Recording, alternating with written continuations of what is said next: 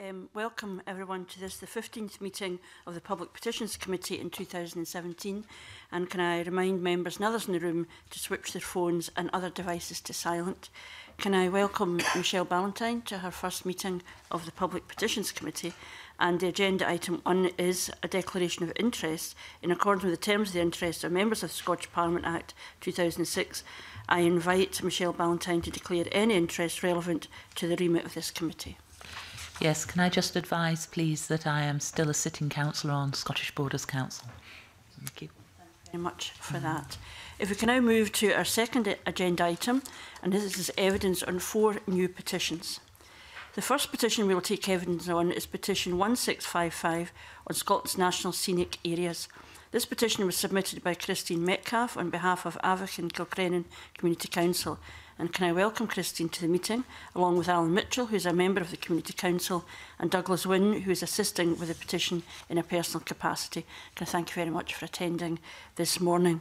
Can I welcome you and we look forward to hearing um, your statement. You have the opportunity to make a brief opening statement of up to five minutes and after that the committee will ask a few questions to help inform our consideration of the petition. Thank you. Thank you. Good morning everybody.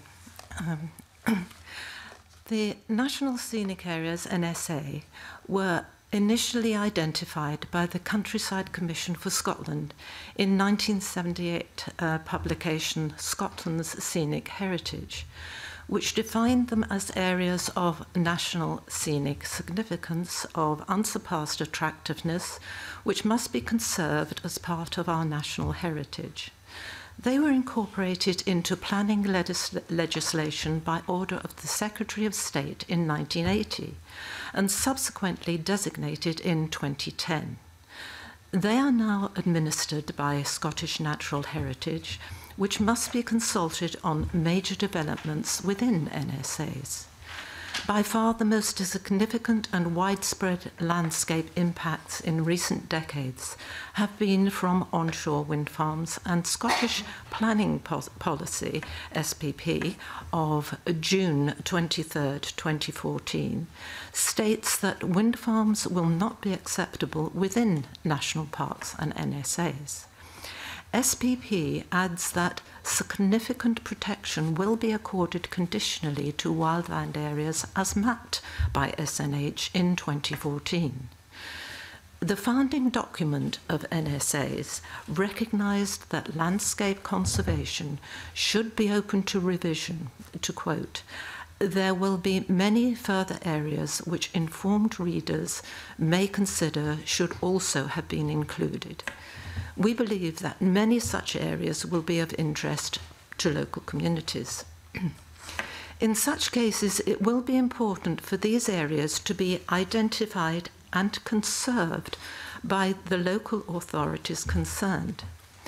Despite this, the 40 NSAs have remained exactly as originally mapped in 1978 and still cover the same 13% of the land area of Scotland.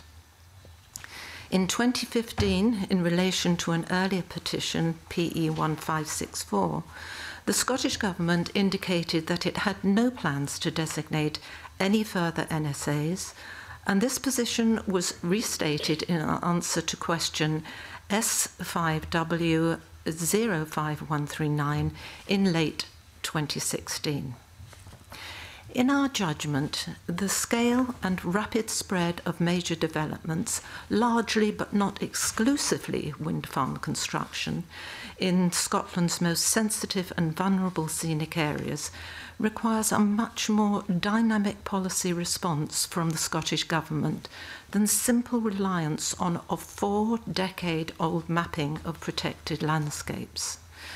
We accept that SNH's 2014 wildland area mapping does offer some protection to other valued areas, but this is conditional and explicitly can be overcome by siting, design, or other mitigation. In our judgment, the SNH wildland area mapping is not sufficiently robust in its current scoping to offer reliable protection uh, to our remaining and rapidly diminishing wild landscapes unless or until there was a greater presumption against large scale developments in the wildland areas, we suggest that the current severe threats to landscape conservation in Scotland requires a thorough review and ideally expansion of the number and scoping of Scotland's national scenic areas. There has been considerable dispute in respect of the impacts of wind farms on the ability of remote settlements to attract foreign and domestic tourists and thereby diversify often fragile uh, economies. In brief, the evidence shows an increasing tendency for tourists to perceive the presence of large wind farms as detrimental to their enjoyment of Scotland's landscape and nature, with the proportion increasing strongly now with the current rapid ex expansion of wind farms. Evidence on socio-economic outcomes is unavoidably much more difficult as we have neither adequate data nor methodologies to allow any definitive conclusions. We will be happy to address any eh, questions on this and believe that an expansion of NSAs to give greater protection to our iconic landscapes in the undesignated 87% would help greatly to strengthen Scotland's tourism offer. There are many potential candidates for new designation, but we would suggest Loch Hoare and Argyll as, as an example of increasingly rare, tranquil environments in an unspoilt landscape. This loch is narrow and therefore vulnerable in significant detrimental impacts from any large renewable energy or infrastructure projects on either side. The area also includes the Glenetive and Glenfine Golden Eagle Special Protection Area.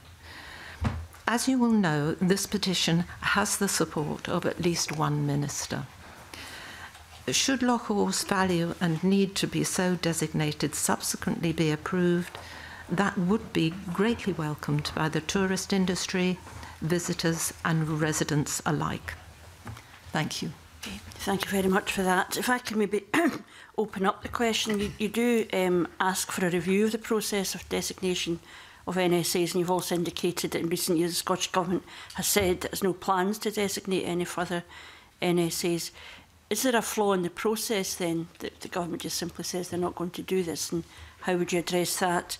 Um, or is there a concern that simply In policy terms, the Scottish Government has no desire to designate any further NSAs, presumably because they see it's in conflict perhaps with policy around wind farms and renewable energy.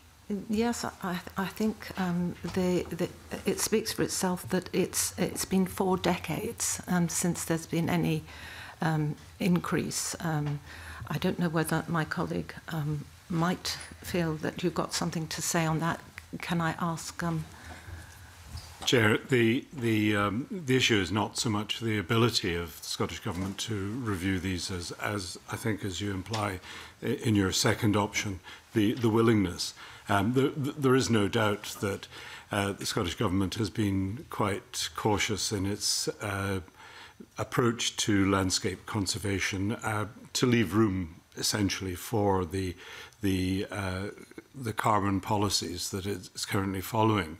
Uh, and yet the, the difficulty is that the the areas of, of Scotland uh, from which uh, large industrial structures are visible on the SNH's own, own uh, mapping has increased over a five-year period until they stopped doing such things in 2013 uh, from 65% to 73% of Scotland's total area from which large industrial uh, constructions are, are visible.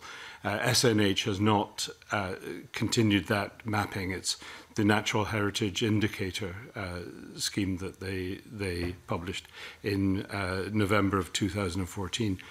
And it, it is our concern that, that the weighting is uh, too much towards uh, liberating uh, large-scale industrial development and not enough on landscape conservation. Uh, that, that's, uh, I think, our, our perception. Thank you very much for that. Uh, Rona Mackay? Yes, good morning. Um, your petition calls for the, an increase in the number of um, national scenic areas to protect the natural landscape and support the tourism sector. Um, you, you've addressed a lot of um, uh, your, these the points I'm going to ask in the opening statement. I wonder if I could just ask you to expand on your concerns about the scale and spread of the major developments that have been going on, and what other options do you consider might be available to protect the natural landscape and support the tourism sector? I, I think that the really the um, the ability of the country to, or the parliament to increase the um, national scenic areas and, and national parks really, um, when you look at, what the protection is within with, within the um, uh, the ability of the of these areas to be protected. It, it really is um, down to the government to make sure that those areas are enough um, to provide um, Scotland with the protection that it needs. That we have enough of them, because at the moment. Um, uh, with local plans and, and things, the, the government are um, making sure that um, policy, um, local, local governments, when local plans are um, uh, presented, they, they often cannot put their own protection in, um, in place because the Scottish Government has a particular will to impose what they want to do. um, I don't know whether, Douglas, you have more the, to say on that. The Section 36 process takes, of course, the, the uh, consenting for large-scale wind farms out of the hands of local authorities, as you, you'll know well. Mm. Uh, and uh, over recent years, the majority of the applications have, have been successful, e even some in quite sensitive areas. The, the wildland designations uh, explicitly are only conditional protection. Uh, they, they, uh, they do um, the wildland uh, identification, the wildland map by SNH, uh, only offers uh, uh, what the, the government calls significant protection, but that has been overridden in a number of cases. Uh, in the case of Stronlerg, uh, the wildland map was uh, explicitly uh, redrawn in order to facilitate the wind farm. Uh, and, and there's been another recent wind farm uh, consented on wildland areas. I should say uh, that that what we're asking is not simply that new national scenic areas uh, should be considered, but also the boundaries of existing ones. Uh, for example, if you look at uh, taking the particular example of, of Loch Awe and its surroundings, if you, if you look at the, the map of, of wildland areas, wildland area 9 includes the summit ridge of Cruachan, Ben Cruachan, which is a, a, an iconic mountain. Uh, I know it's hollow because you've got the, the pump storage scheme within it, but from the outside, from a, a landscape pers perspective, that is not obvious. So the, the summit ridge of Cruachan is within Wildland Area 9, but it's not within the National Scenic Area of Glencoe uh, and, and Ben Nevis. Uh, and it, it's questions such as that that, that really should, should be asked. Why does uh, the National Scenic Area of of Glencoe and Ben Nevis not include that iconic mountain, which is right on its borders. Uh, we're not unreasonable. We, we, we understand that Scottish government wants to facilitate uh, industrial structures. Uh, we, we doubt whether the balance is right between that wish and the, the conservation of iconic landscapes. Uh, and there is no wildland uh, area designation it's not strictly a designation in planning law, but no wildland area mapping within the, the valley of, of uh, within the strath of Loch Hall. Uh, so just to um, clarify, if I'm understanding correctly, you're not against the expansion of the renewables um, industry, but it's the mapping that you're concerned about and the protection of the the scenic areas? I think I think it, it, it, would be foolish to deny that uh, renewables have a have a place within a mixed uh, economy. Uh, our concern is that the in the rush to facilitate uh, onshore wind farms in particular, landscape is being unnecessarily uh, damaged uh, in some quite scenic and remote areas uh, which depend on on nature and landscape tourism for their uh, for their livelihoods. So I think it's the balance that is is wrong. We we wouldn't presume to come along here and, and say, oh well, the renewables policy as a whole is is uh, is overinflated and and silly. I mean that that would be stupid of us to say that.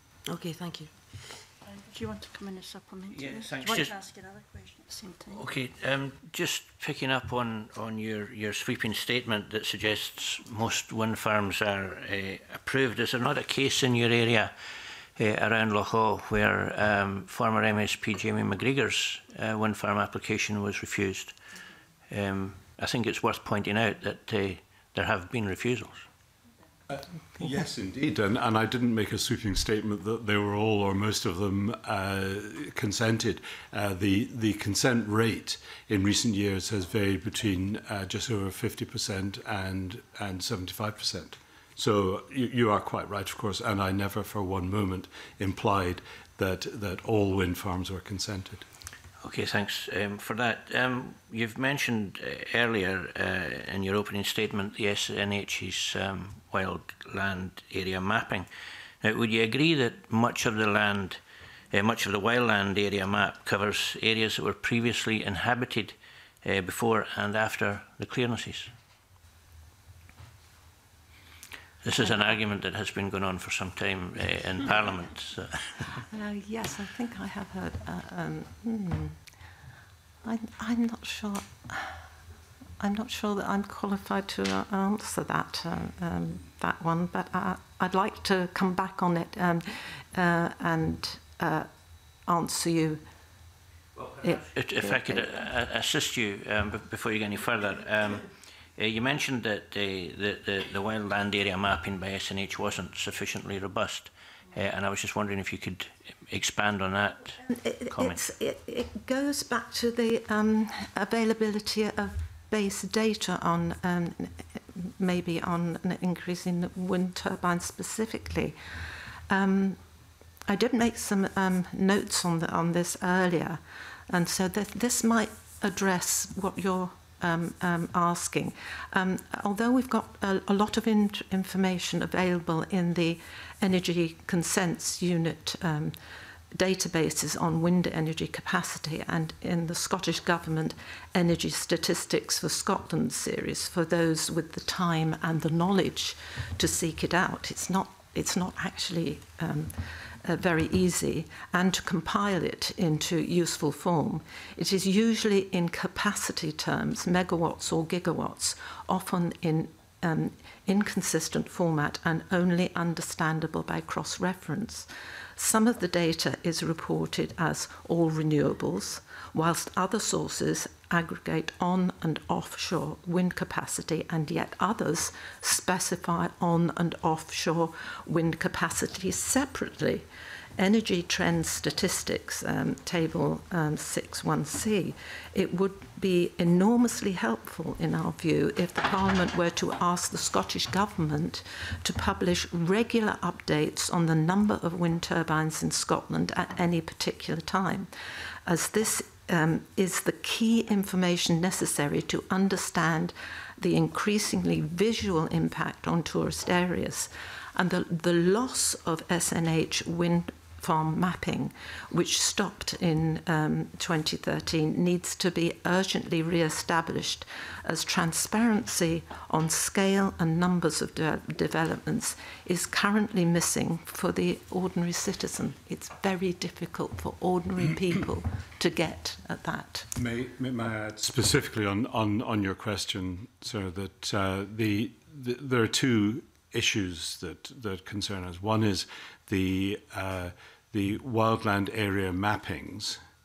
Uh, and we we know that this was undertaken in close collaboration with the Wildland Institute at the University of Leeds, and there was a, a rigorous enough methodology that was used to to identify the areas. Yes, you are quite right. In, in many of the wildland areas, there there are the ruins of old shillings. Uh, so your your starting point is is entirely correct in that.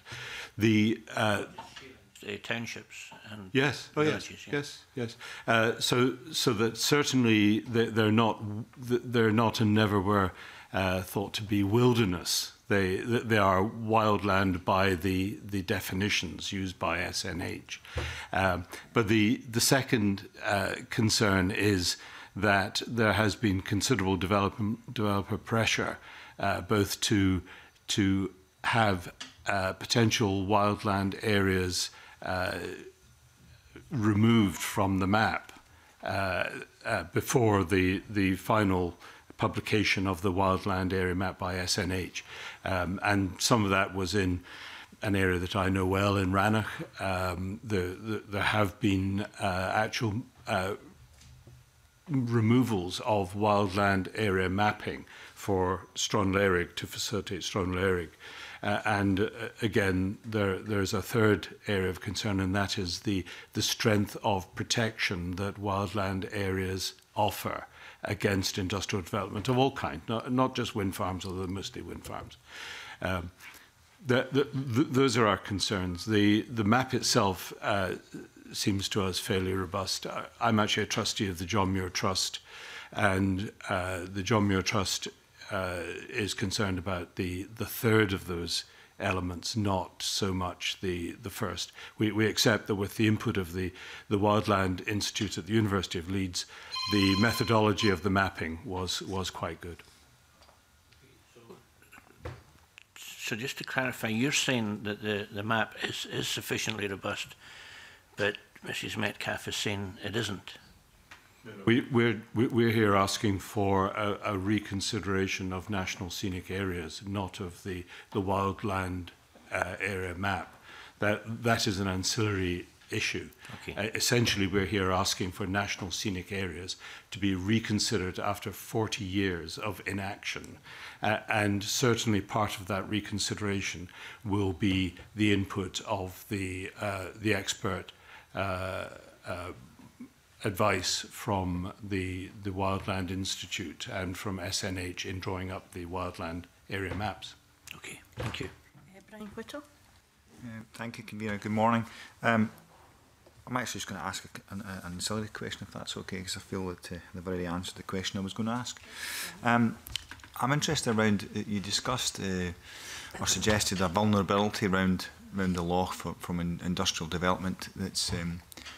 uh, too close.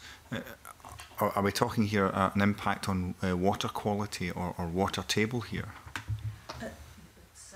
Um, uh, the, the, the, there is a, a, water catchment area in um, North Loch um, but um, because of the geography of, uh, in fact, um, my colleague Alan, you might want to say more on this, but um, the geography of, of the loch, it is, um, as we said, uh, it's the longest uh, freshwater loch in Scotland, and uh, um, industrial development, because it's so narrow, um, it, the, the, impacts from industrial um, developments are Um, twofold because they can be very easily seen on both sides of the loch, whereas um, in other large lochs um, they can be quite a, a distance away. Um, Alan, did you want to say anything? Well, you, you were asking about the water quality. Yeah. Um, so, uh, there is a, uh, a wind farm um, application going through at the moment, which are Passonic and wind farm, and certainly issues of uh, possible um, pollution to the water quality of people who take their water from local burns. Um, that is an issue that is being considered and uh, will be uh, reported to and considered by the reporter on this particular wind farm. Um, certainly, I think from elsewhere there have been issues with uh, water quality from disturbance by uh, wind farms being um, put in, in place once uh, they've been in, um, approved. So can I, if, if, that, if that's the case, well, I mean, I, I was looking specifically around the loch, but if you're looking at um, burns uh, uh and, and feeder uh, uh streams, etc., mm -hmm. I mm-hmm. mean, there has to be a, there has to be a, a, a limit to how far away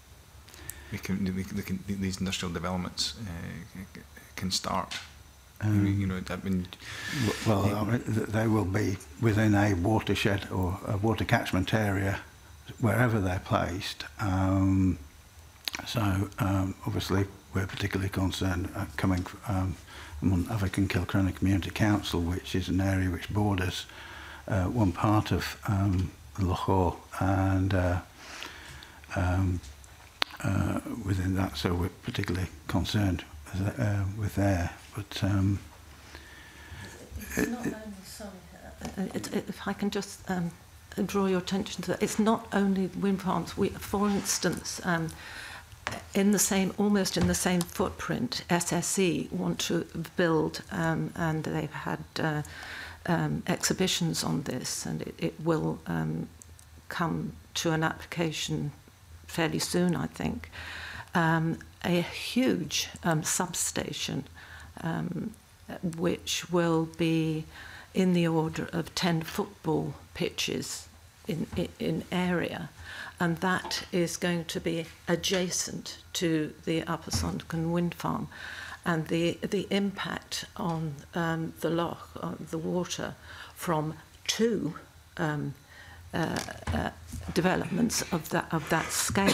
We've got an S36 and the substation in the same area.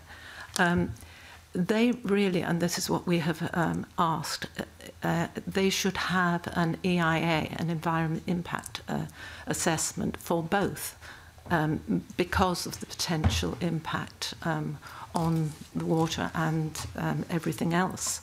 But that at the moment um, isn't the, the cumulative impact isn't being addressed by uh, the Scottish government and um, DBEIS um, actually insisting that there should be an environmental impact assessment for both. And I don't know uh, whether that is something that would be um, a first or whether this does has happened before. I don't know.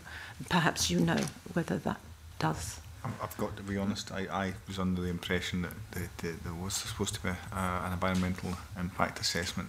Yes, um, there, there will be, but, but what we're saying... One, yeah. Yes, uh, what, what we're saying is at the moment um, they're not being considered together.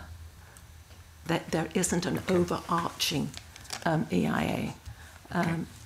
for the two. That's just giving you an example of the, um, the type of impact um, that infrastructure and um, renewable um, energy developments can have on a, on a vulnerable area. It is vulnerable to the scale of, of, of developments um, because the loch is so narrow and that's our concern.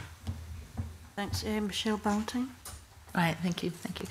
Um, you've indicated uh, that you have a lot of support for your petition from community etc., and particularly for the local one with, from your, your local MSP, Mike Russell. Can you tell me about that support? Um, is, it, uh, have people just come forward and signed a petition or is there an active body of support? we had before um, actually um, going down the road of um, constructing the position and, and lodging it, we had to ask our local communities what they thought. And, and, and uh, you will see from the comments, I don't know whether you've, you've actually looked at um, any of the comments that uh, were made in support of the, um, a lot were from local people and, and Scottish um, addresses, names and addresses. So yes, you know, we had to um, pre-lodging the um, the petition, we had to make sure that people were happy for it to go ahead. And did they come forward naturally, or were you having to, to go around and knock no. them up? And no, we we um, we we uh, invited people to our community council meeting, and we talked about it um, uh, at some length, uh, didn't we, Alan? Um, I would say actually we we were. Um, not not as efficient as we might have been in, in trying to drum up support. Yes. and it just occurred no, no. naturally, yes. organically, um, yes. almost. Yeah. And, and your petition obviously has asked for a national review and looking at um, more scenic areas everywhere. Mm-hmm. Um, are you aware of any other potential examples? I mean, obviously Lockor is where you, you're from and focusing on, but you know, in terms of a, are uh, wanting a review nationally. Are you aware of any other areas that are uh, calling for this? Well, um, you would probably well, I, I, I, I am personally. um, there, there are uh, areas around the the Tummel and and Rannoch uh, uh, National Scenic Area where some extension would be would be uh, much appreciated, um, and I'm sure there are other areas. The the national scenic areas in their original conception were never intended to be static. And that's really our key concern, is the, the lack of any uh, revision of the 13% of, of Scotland's area, which is national scenic, areas. Circumstances have changed drastically over the last decade. The number of of wind turbines in Scotland, just focusing on, on that, and because of the, the most uh, obvious uh, intrusion into, into natural landscapes uh, has increased sixfold on the Scottish Government's own figures from the, the time when the, the so-called Moffat study was undertaken, which uh, is the one that wind farm developers always rely on to say there is no impact of Uh, of uh, wind farms on tourist attractiveness. They always cite the Moffat study, which is now 10 years old and was a study of visitors to to built attractions, not to countryside. Uh, so I would say methodologically it was a shambles. Anyway, it's 10 years ago, and uh, the number of, of wind turbines in Scotland has increased sixfold in that decade, and the plans are to increase it considerably further. So our, our concern, our central concern is the fixity of Scottish Government landscape conservation policy, only relying on national scenic areas with this recent addendum of wildland areas which are of qualified protection, and the dynamically changing uh, built environment in our wildest uh, and most scenic areas. That, that doesn't seem to fit. And, and it, it seems to us reasonable to ask that after 40 years, the national scenic areas are at least reconsidered uh, in number and also in their precise mapping would it be okay if I asked another question? Can I ask, I mean, you're calling on an increase in NSAs for Scotland um, fundamentally, but, but when you were referring to the Ben Nevis one earlier and, and how it didn't cover its next door neighbour, Are you thinking that actually, as part of the review, they should look at the the area covered by the current and existing NSAs? Because I'm I'm conscious that one of the big issues is is when you put a hard border, yeah. what you get is an impact onto that NSA from sure. its surrounds. So, do you sure. envisage those expanding? Uh, yes, uh, perhaps in, in some cases uh, even drawn back, you know, where there has been development in, in, in the the interim and those areas are no longer uh, worthy of, of being included in national scenic areas. Just a review would be good after 40 years uh, and, and the, the particular mapping of, of national scenic areas uh, as they currently exist uh, is is is one of the key things we'd like to to, to have seen. Not necessarily always in creating new national scenic areas, but adjusting the boundaries. Uh, we would ideally like to see them increased to protect our increasingly rare, uh, uh, beautiful landscapes, and, and they are being impacted very considerably. As I say, the SNH map of the visibility of industrial structures shows that 73 of Scotland's land area was within sight of major industrial structures, and that was at 2013. Uh, SNH have not repeated that mapping, although other people have, to, to show the visual impact of the, this rapid development of uh, building in the in remote areas. You really see this as a, a blank page starting point of re I, reviewing our I, landscape. I see, a, I see a policy justification uh, for moving away from the static reliance for 40 years on, on a mapping that is long superseded. The realities have changed on the ground. Why aren't national scenic areas revisited, reconsidered in current circumstances? It was always envisaged when, when they were created that they would be a dynamic uh, and constantly reviewed thing. Um, that has never happened, and, and really, it doesn't seem rational. Thank you. helpful. Very much. I think we've um, covered a whole number of issues there. I suppose one thing I would maybe reflect on is that some of these remote depopulated areas, that actually what you call industrial constructions are opportunities for communities to regenerate themselves, and there's evidence of that in some of the you know, communities across the islands and beyond. And I wonder if you think, I mean, I hear what you say about NSAs and they should be, maybe we should be looking at them again, but is there an argument which says the focus on NSAs is actually an argument about the desirability or otherwise of wind farms? And maybe we need, and the impact of those, that would be a different argument, wouldn't it?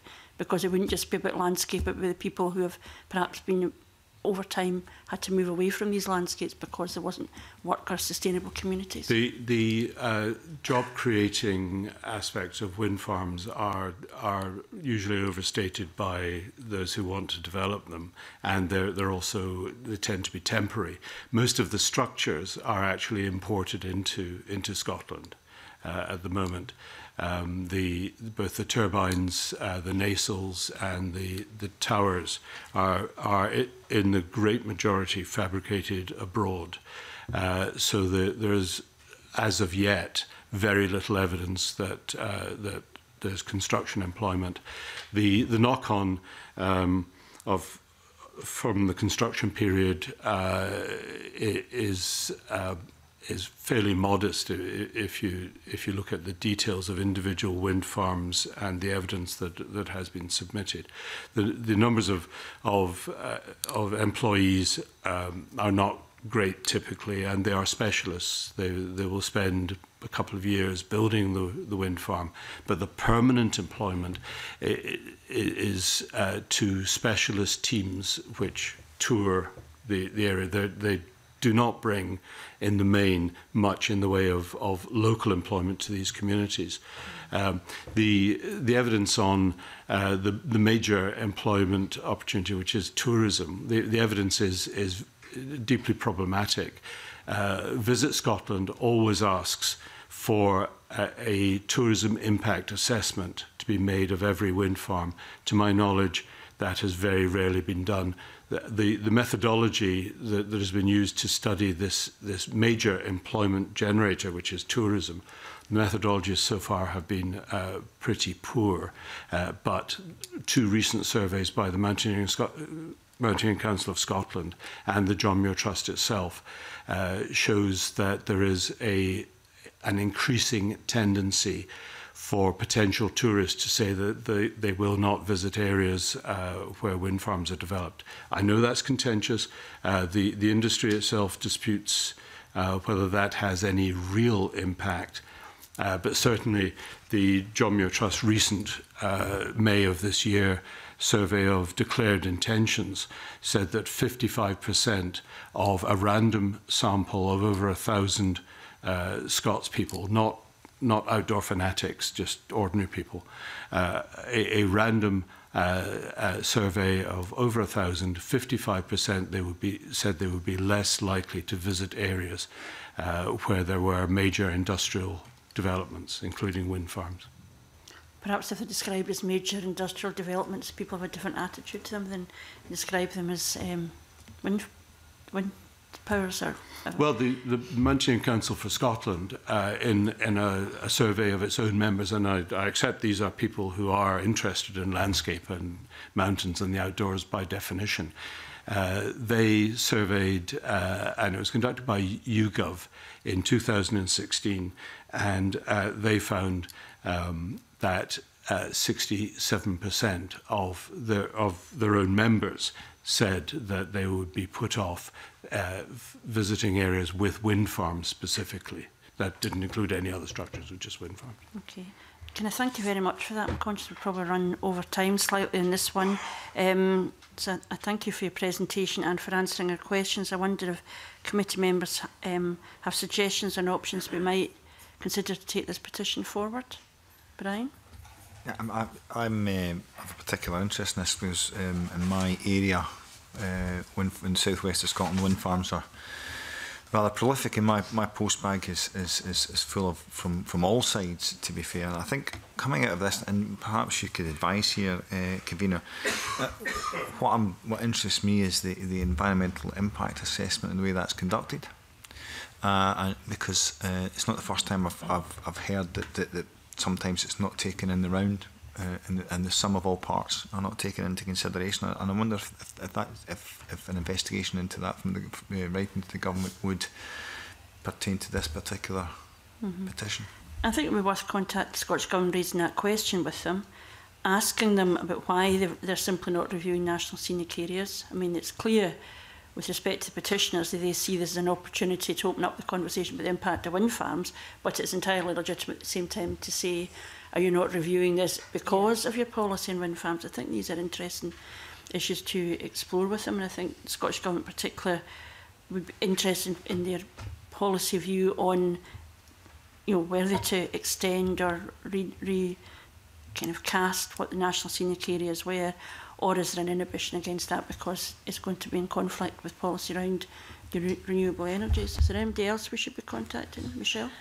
I, I think the point here is that, that uh, as the gentleman said, it should be dynamic. I mean, it, you know, this is not about having a judgment about what the outcome would be. It's about saying perhaps we do need to revisit it and we need to look at it. And, and I think there is an argument for shrinking some as well, or maybe even removing some, as well as in you know putting some in um, and certainly you know here I, I sat on planning for quite a long time and and there is, there are some complications around it as it stands so I, I don't think there'd be any harm in revisiting it and having a look at it mm.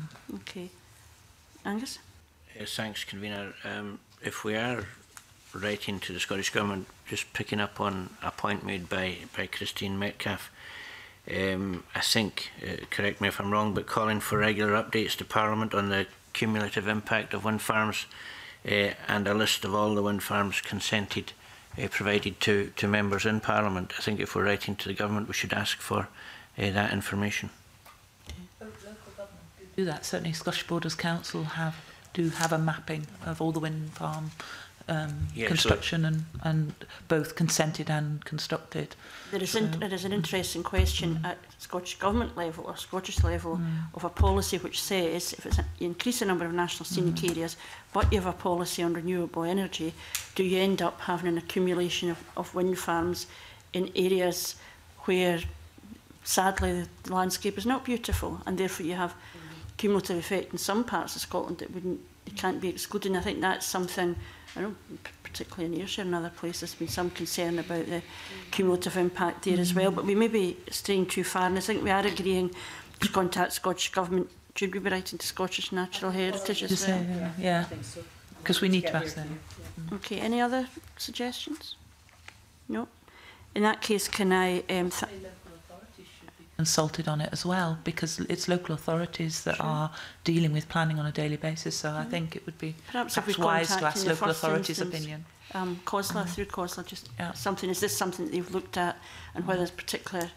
issues within COSLA mm. for particular areas?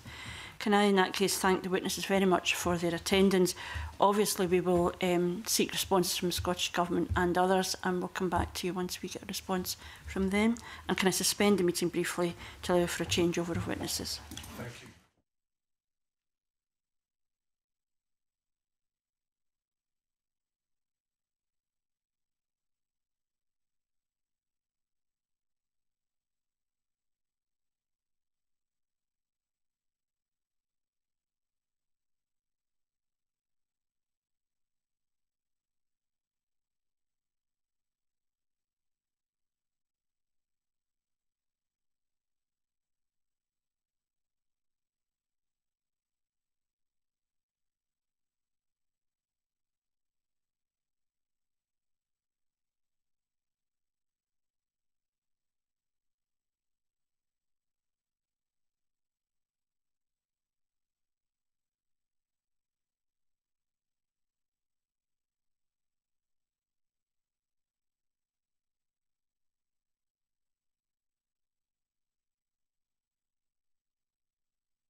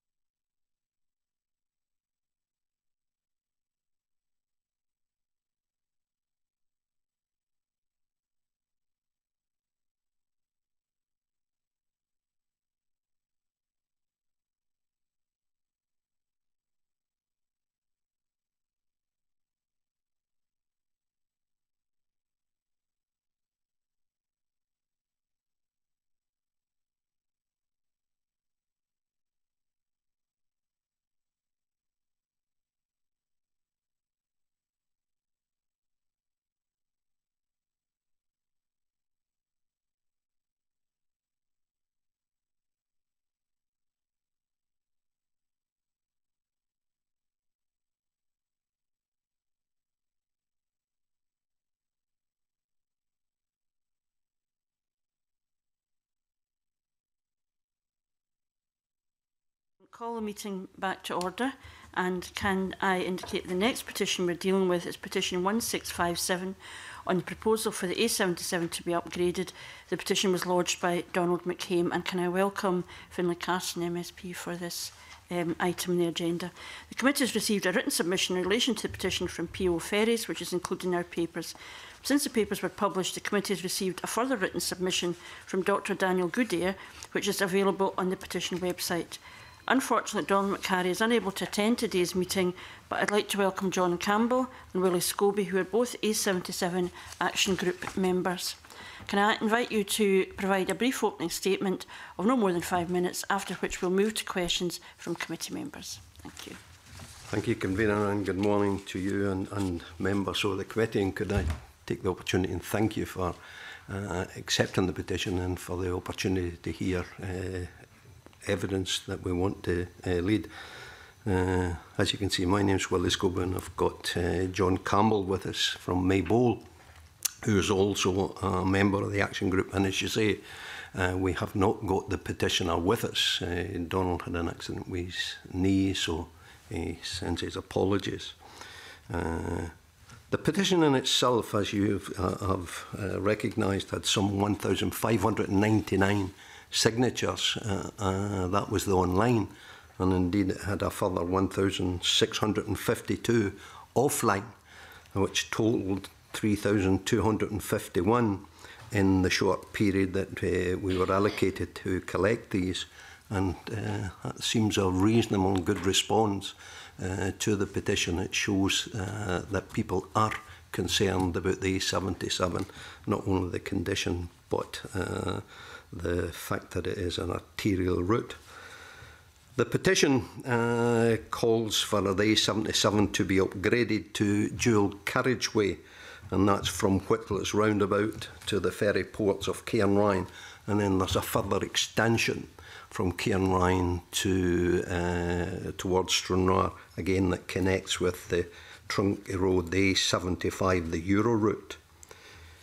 I think, you know, in 2005, June 2005, there was also a petition, uh, then the PE 859, that was presented to Parliament, to the Scottish Parliament by uh, West Sound, uh, Shana Bothwick and, and Alan Gordon, the route director, Stena. And at that particular time, Stena were threatening to, to uh, move away altogether from Loch Ryan. Uh, but fortunately, they remain. And what they asked for was the improvements to the 75, 75 and 77. Uh, fortunately, uh, both the 75 and the 77, we saw five places, uh, passing places installed. But at that time, we don't feel it went far enough uh, in terms of the upgrading of both roads. When we look at the investments uh, by both ferry companies, then we're talking about the region of 500 million, million pounds uh, from both uh, major uh, international ferry companies. But that investment was not matched by the investment on uh, the, the roads, both the 77 or the, the, the 75. And if you compare that with uh, other uh, ferry ports, both in Wales, the A55, there's some 0.5 billion pounds spent on, on that road to, to upgrade the dual carriageway. Again, on the link road to Heysham, 125 million pounds uh, dual carriageway uh, and motorway uh, improvements.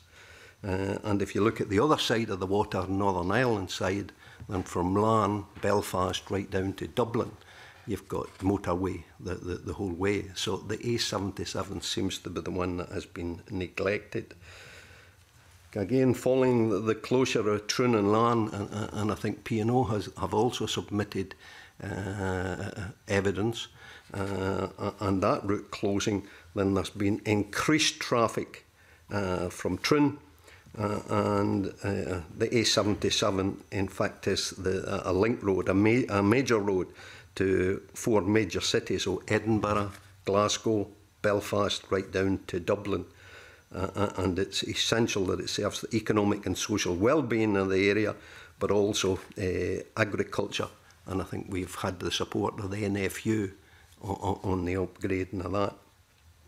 I draw your attention to in 2015 around £1 billion pound exports to Northern Ireland uh, and uh, the EU member state of the Republic of Ireland uh, has been carried along the A77 again through the, the UK's third busiest passenger ferry uh, and gateway and freight hub. So I think that's important.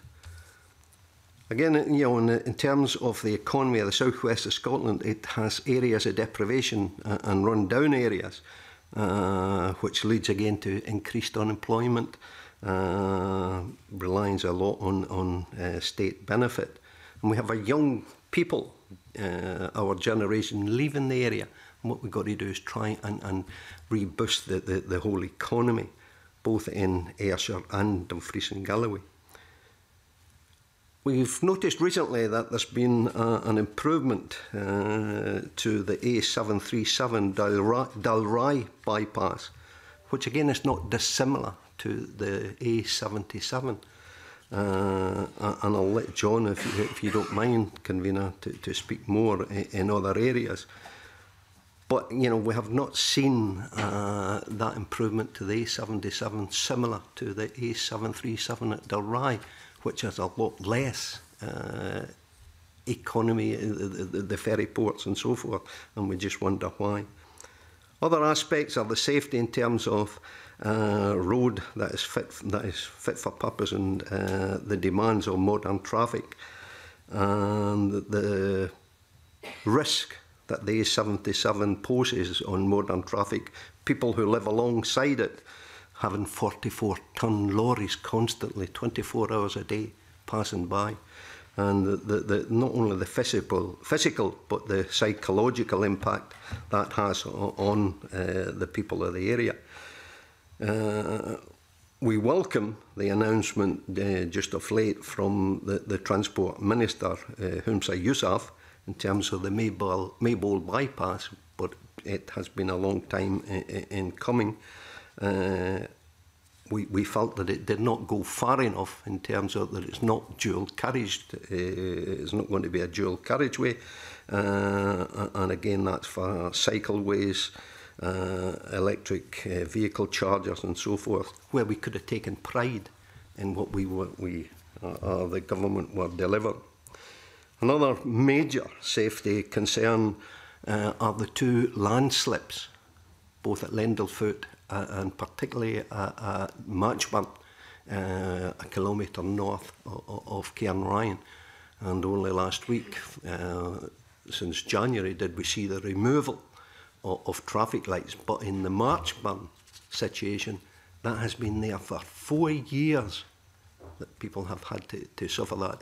And we don't often see any work going on to, to uh, sort the, the, the landslide there so, so we are seriously concerned uh, about that.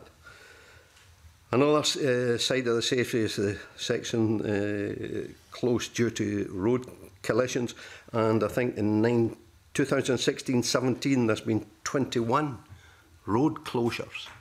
And on a road closure, then we have diversions, and the diversion normally is uh, because there's no other route uh, south of Ballantrae is Uh, the A714 from Newton Stewart to Girvan, which is definitely uh, not fit for purpose and at times uh, heavy vehicles have to take to the embankments because they can't pass each other on, on the, the, the, road there. So, so that is a, a serious concern. Not only in terms of safety, but in economical terms, where road hauliers then have increased costs in, in transport costs and so forth, uh, fuel uh, and so forth. Can I say in, in conclusion, uh, convener, that we consider the southwest of Scotland needs a fit for purpose road uh, infrastructure.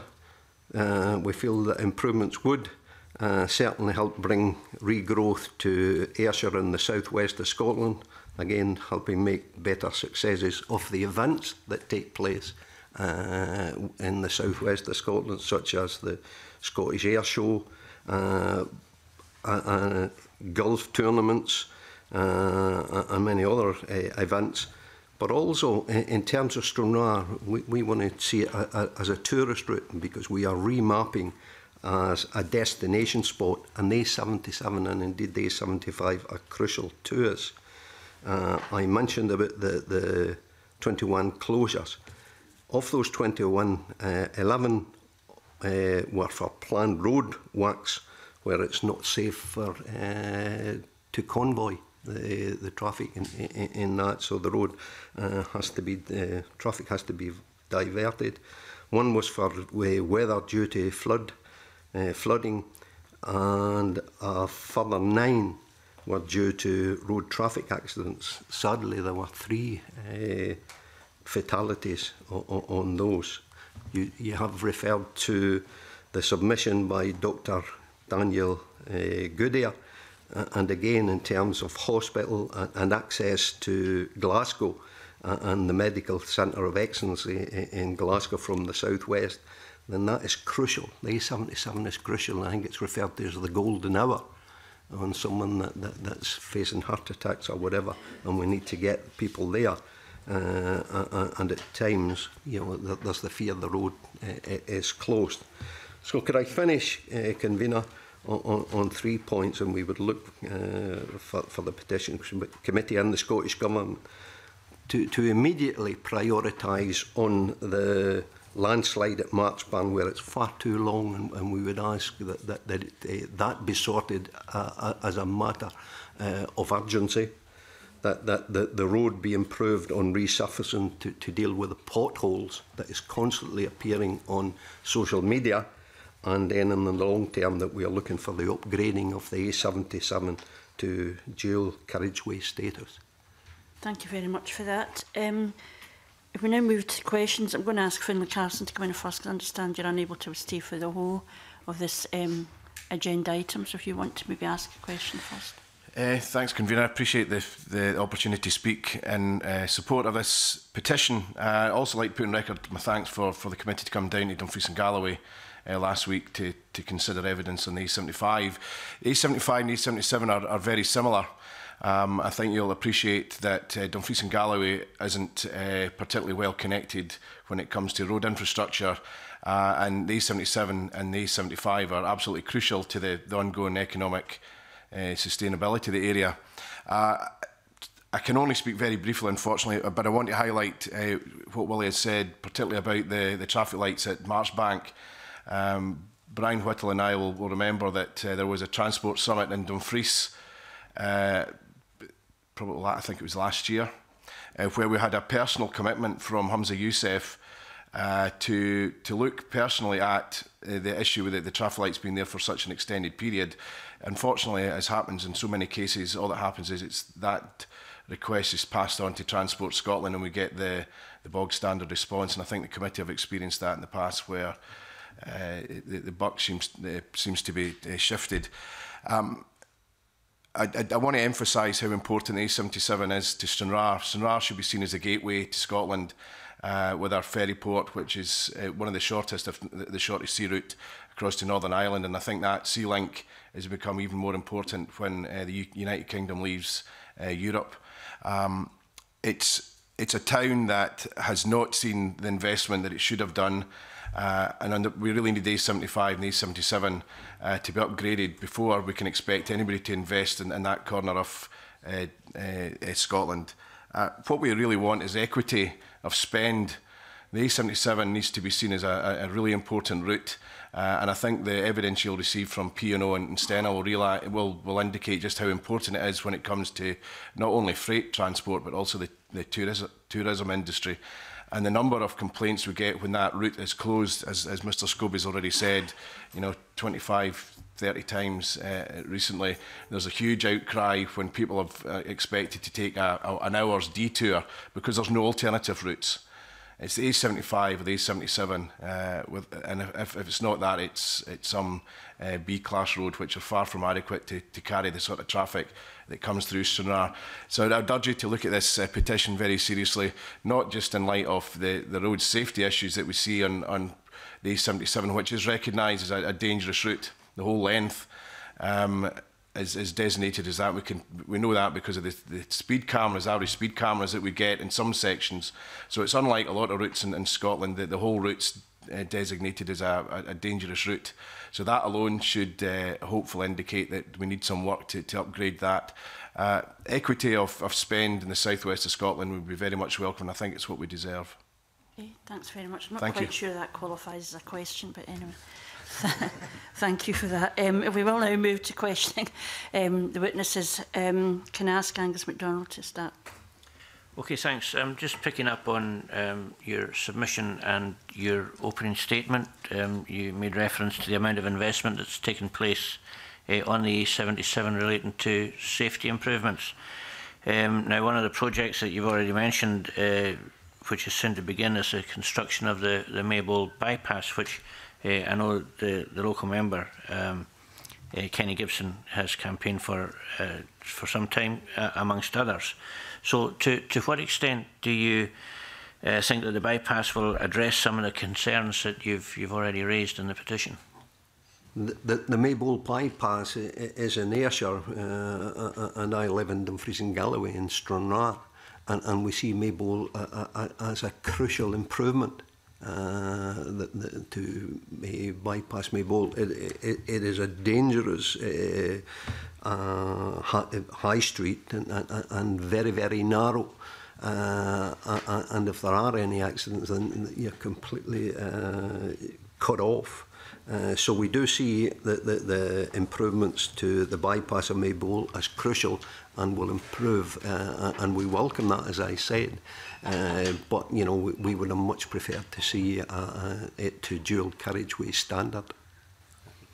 Yeah. Sure. Sorry. Uh, sorry, uh, eh, Madam Convener. I've actually, uh, I was born and brought up in Maybole. I was 33 years as a part-time firefighter in Maybole, going to hundreds of crashes.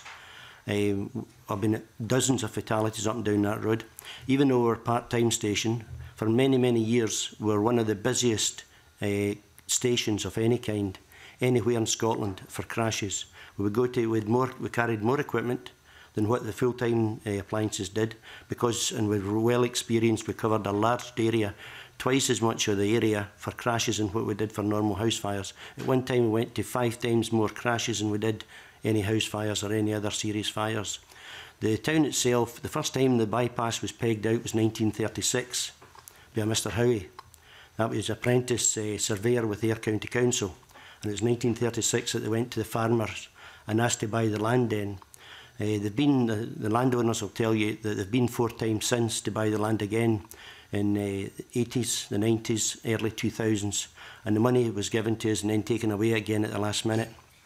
The town of Maybole, it's the very first place in the whole of Britain, I believe, where it's a trunk road was made into a 20 mile an hour section because the road at the high street is so, so dangerous. In the last 100 years, there's four fatalities that I know about, and possibly maybe more, and lots of uh, serious injuries.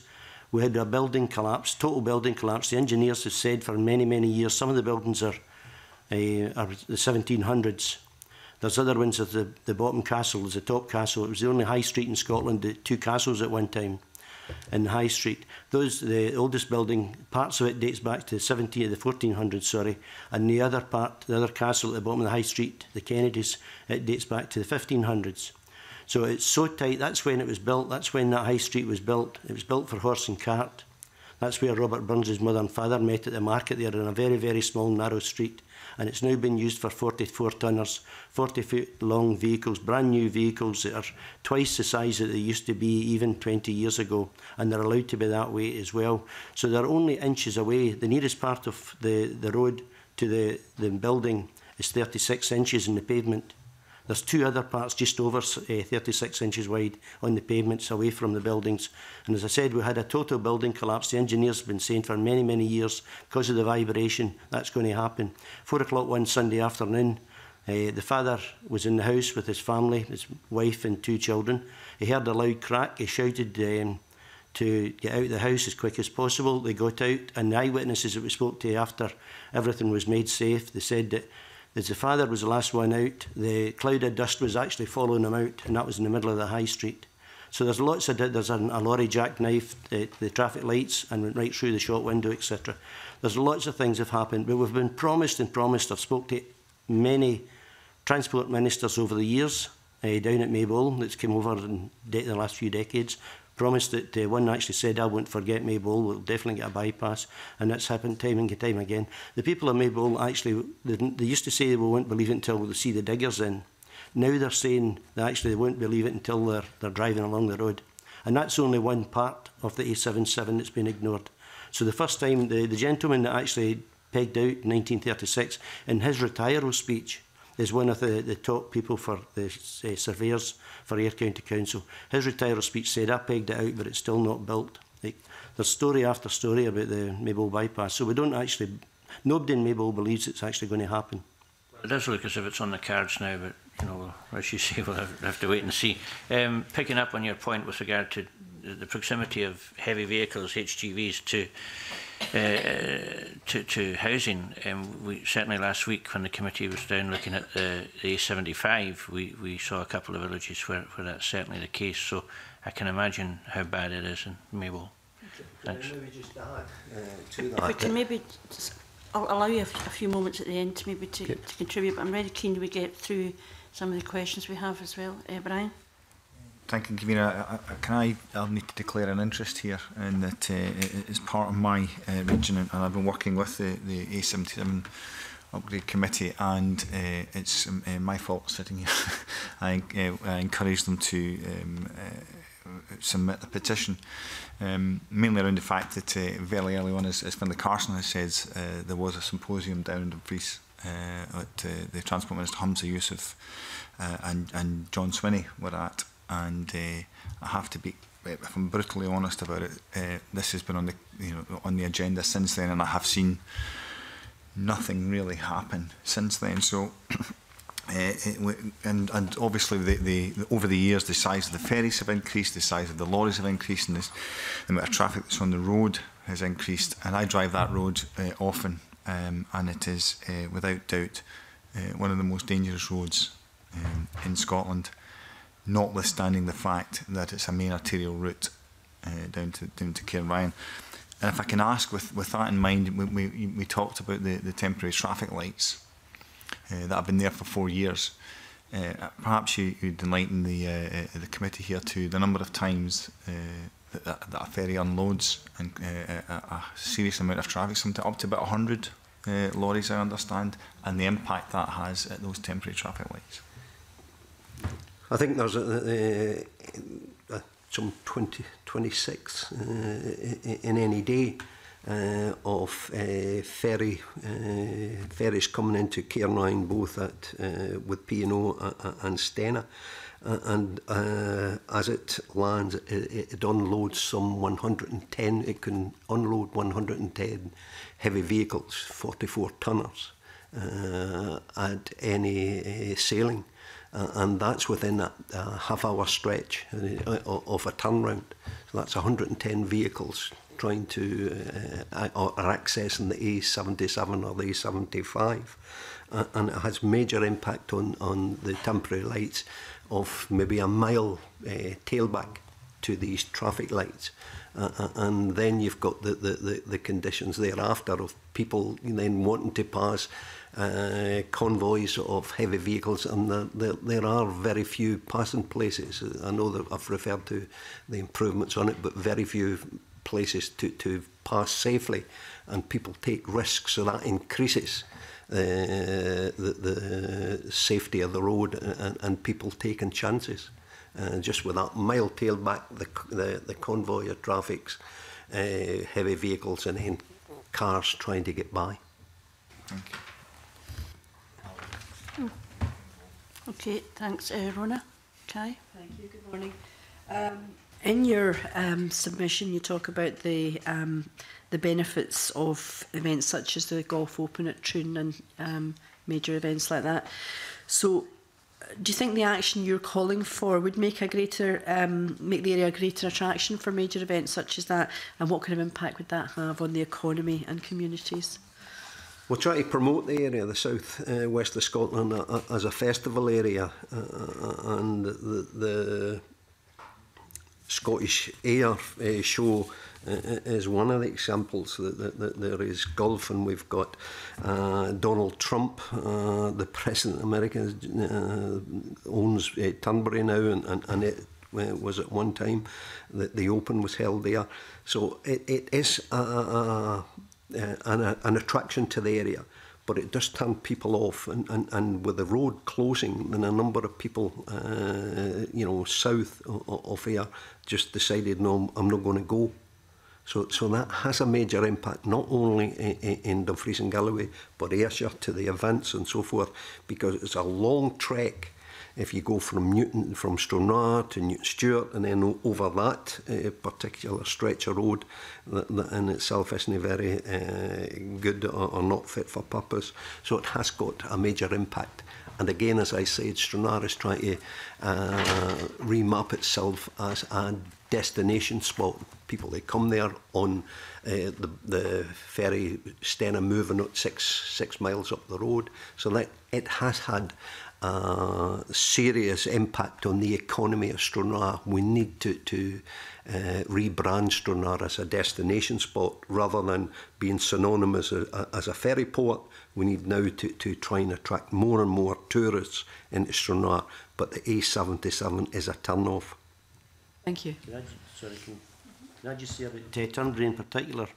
Uh, Turnbury, we believe now, is the number one golf course in the whole of Britain and a lot of people want to play it. But the RNA, uh, in a few occasions, have indicated that they're not happy to give the, the Open Championship to Turnbull because of the roads. And, and they say, in particular, the, the road, um, the A77 from the Whitlitz roundabout, where it stops being a, a dual carriageway. It was at Royal Troon, the Open was at Royal Troon last year, and uh, the independent report that came out in January reckoned that uh, that area alone made about uh, 110 million pound and just be holding uh, because it's not just the people that go there for the four days it's a huge build up for all the TV companies media and various things and they're there for weeks setting everything all up which is using all the local facilities and that was 110 million pound just in that one close area and if we could get the likes of Turnberry Turnberry itself um, employs about 400 people part-time uh, full-time directly and indirectly and uh, it's it's a huge facility it it came very, very close at one stage. Uh, perhaps the, the main hotel itself closing down, and a lot of people don't know that because uh, a lot of people didn't want to go there for various reasons. Golf agents uh, stopped sending people down there because it was taking so long when there were Americans here for a week spending an absolute fortune in, in golf courses and buying closed golf courses from Scotland. And uh, they would spend a long time, so they were driving around about Scotland, but they were stopped sending them down here because it was a of part of their holiday travelling there, the, taking longer so it was to get here. So there is a huge impact, uh, part of the economy down in that area, so it is. And then further south, all the different caravan sites and everything. There's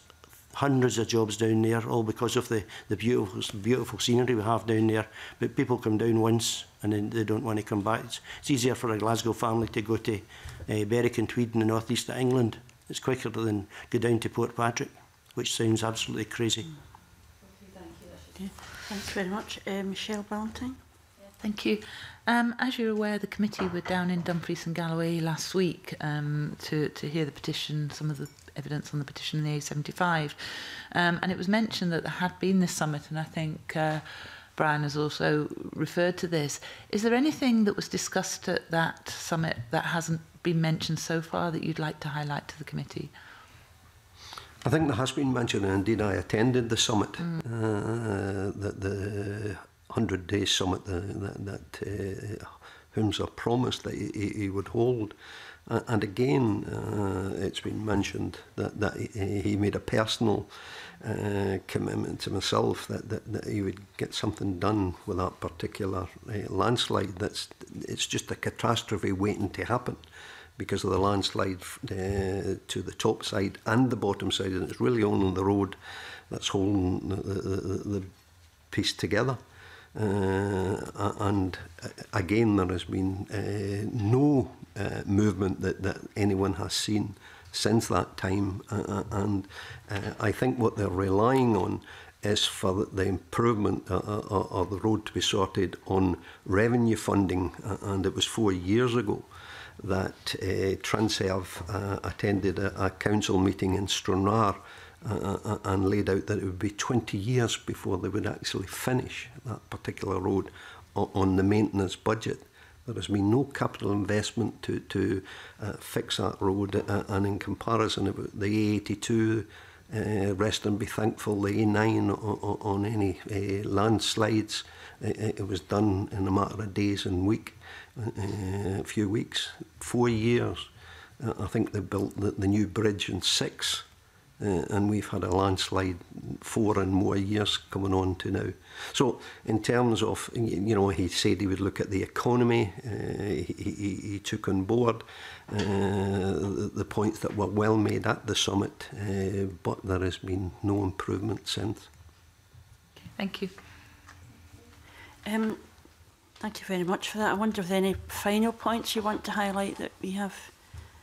Could I just say one point to, you want to make yeah, Yeah, and, and, and it was the question made by uh, a uh, question uh, posed by Angus MacDonald in terms of the Maybowl bypass, and uh, uh, while we welcome that, and I think it's uh, essential in terms of Maybowl that we have that bypass. If you take the 47 mile stretch from Whitlets to to Stranraer, uh, there are eight uh, towns and villages that you have to pass through uh, in, in that stretch, the 47 mile stretch.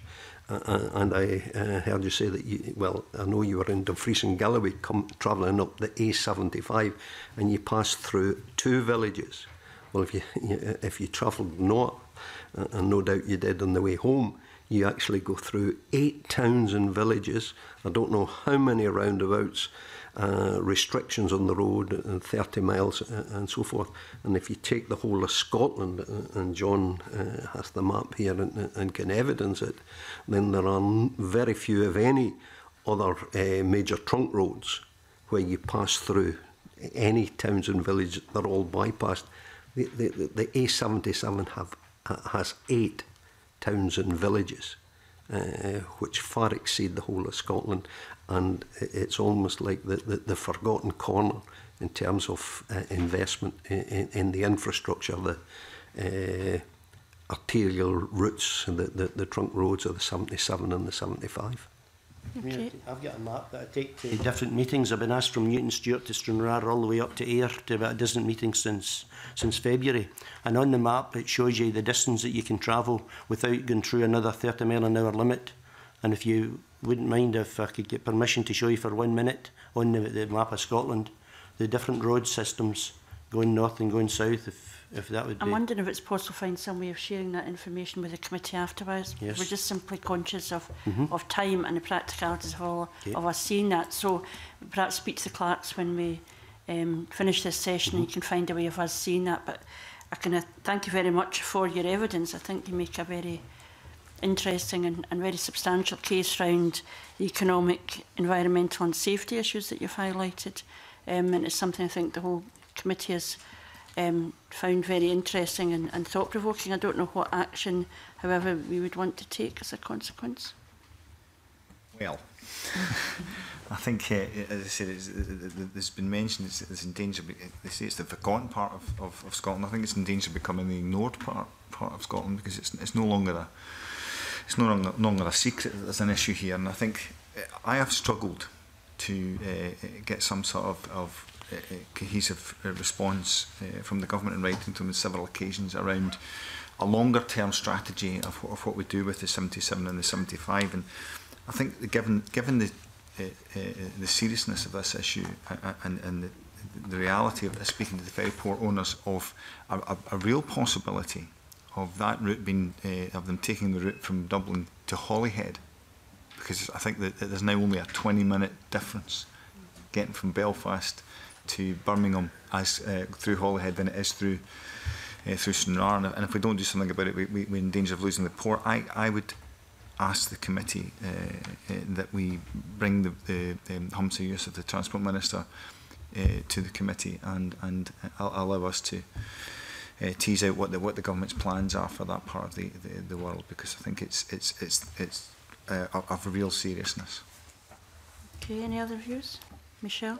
Um, obviously the A77 and the A75 uh, they're, they're pretty much the same arguments with some differences and I'm I'm wondering about how we link these together um, because I know they're two separate petitions but but it's the same economic arguments it's the same issues around um, actually the ports the movement of traffic and I'm wondering whether we should be hearing those together because it feels to me like there's a if there was to be an upgrade in there may be a decision about prioritization etc so you know I, um, I feel that I'd like them to be tighter sense that we, mm -hmm. if mm-hmm. we were going to get evidence from the Scottish government minister yeah. then that, it would make sense for us to put the two of them together and I don't think anybody have any objections to that because it is round environment economy and and mm. safety issues my only question would be whether it's actually you know It is beyond the transport sector because it's a decision of cabinet. It's going to be about the economy as well as simply um, transport issues. But that's something perhaps we can raise with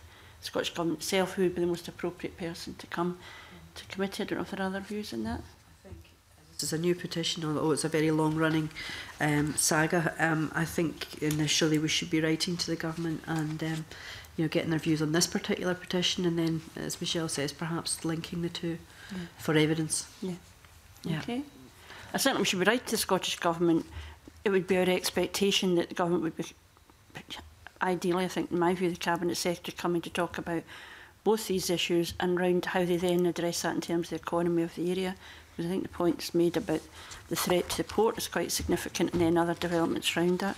Um, particularly about their engagement with the ports because speaking to, to the um, shipping lines Uh, last week, I, th I think there's some very important economic discussions, um, and particularly about the impact going forward. Okay. Okay, so we will write to, to, to the Scottish Government, raise these issues.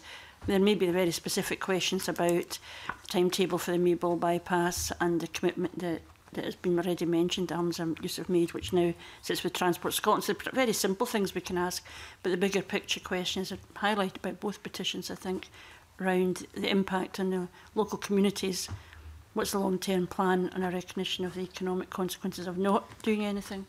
Can I say, um, uh, we just, just to the, the, come back to the, uh, inviting the, the, the Cabinet Secretary here is what will happen is we'll write to the government and we'll get that reply back and then we're going to ask the Cabinet Secretary to come in.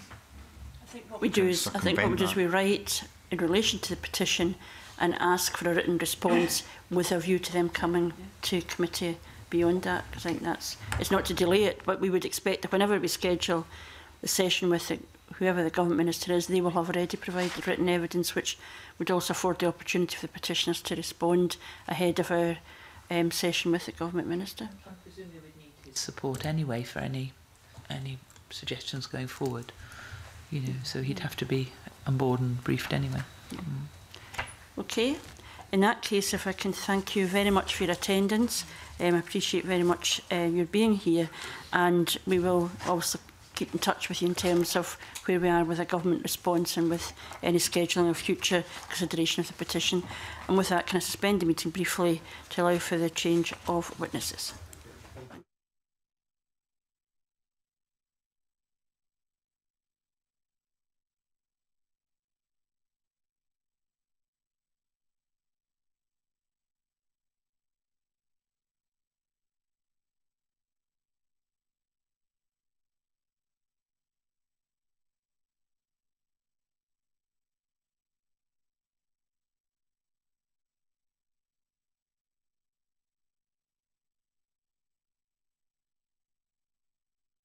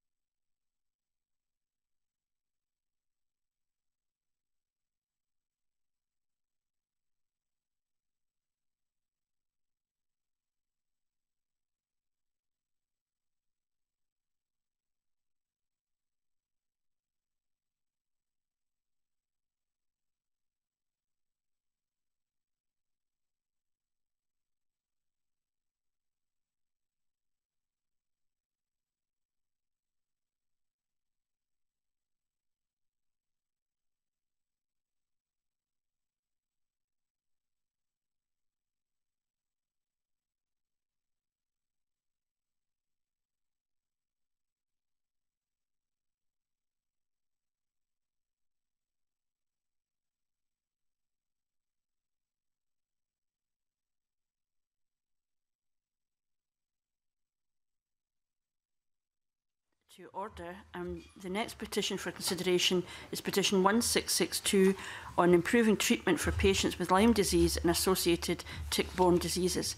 This petition was lodged jointly by Janie Kringian and Lorraine Murray. Can I welcome Alexander Burnett MSP who led the members to business debate on this issue earlier this year. Can I welcome both Janie and Lorraine to the meeting and thank you very much for attending today.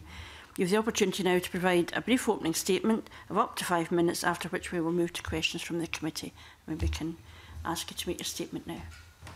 Thank you very much for inviting us here to discuss improving treatment for patients with Lyme disease and associated tick-borne diseases. Lyme disease is an infection passed to humans by the bite of a tick. It's caused by bacteria known as Borrelia. The best known species is Borrelia burgdorferi, but multiple species exist, of which at least five are prevalent in Scotland. Typical initial symptoms of Lyme disease are a bullseye rash and flu like illness. More serious symptoms may develop weeks, months, or even years later if Lyme disease is left untreated. Later symptoms include joint pain and swelling, headaches, extreme fatigue, and problems affecting the nervous system, heart, membranes surrounding the brain, and spinal cord. If infection is caught early, most patients recover with standard treatment. However, 10 to 20% of patients go on to develop a debilitating chronic illness. On average, 5% of ticks in Scotland are infected with Borrelia. In 1996, there were fewer than 30 laboratory confirmed cases in Scottish patients, but by 2014 there were around 230. However, the numbers are likely to be much higher because GPs estimate that only 20 to 40% of cases are referred Lyme disease is not notifiable and so nobody really knows.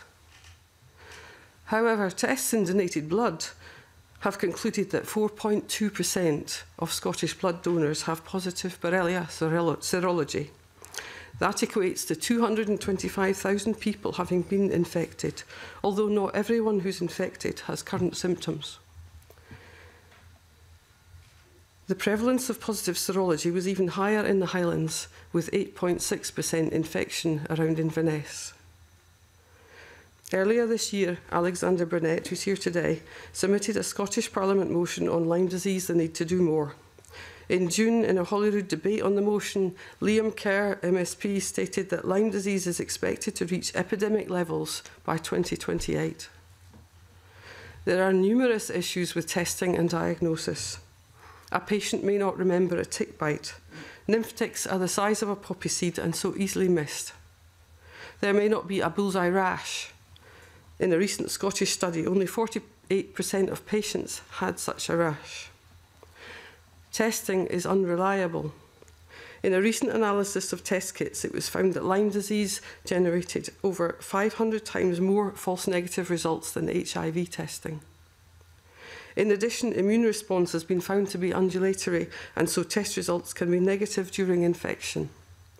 And there are no tests for two of the five species found in Scotland. And ticks can transmit multiple infections from a single bite. Co infections have been found to in increase the length and severity of illness, and there are no tests which cover all species of such co infections. Given the unreliability of testing, it's very easy for Lyme disease and its related co-infections to be misdiagnosed. And there are issues with treatment. There are a huge number of uncertainties in the treatment of Lyme disease. However, there have now been over 700 peer-reviewed papers demonstrating persistence of Borrelia after antibiotic treatment.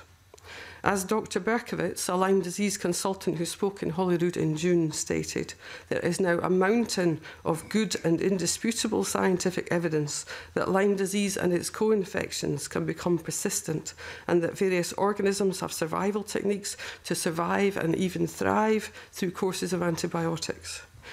In fact, Borrelia has been found to be one of the most complex bacteria known to man.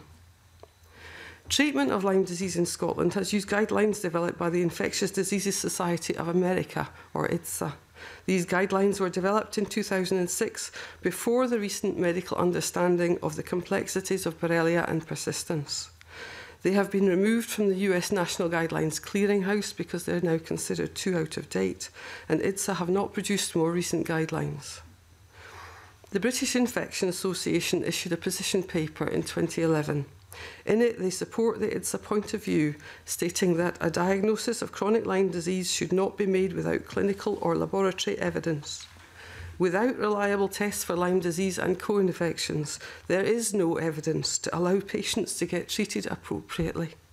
Abandoned by NHS Scotland, many patients, including ourselves, seek private treatment abroad. So, what needs to be done? Firstly, improve testing, provide a test which does not rely on antibodies, a commercial Lyme antigen test which does not depend on the presence of antibodies and is described as a game-changing tool for Lyme disease diagnosis is now available in Europe but not yet available to Scottish patients and provide more testing for all Borrelia species and co-infections. Secondly, improve treatment, provide better guidelines, Guidelines are needed which acknowledge the recent research showing that Lyme bacteria can persist through courses of antibiotics. NICE has been asked by NHS England to develop guidance on the diagnosis and management of Lyme disease. This is expected to be published next year.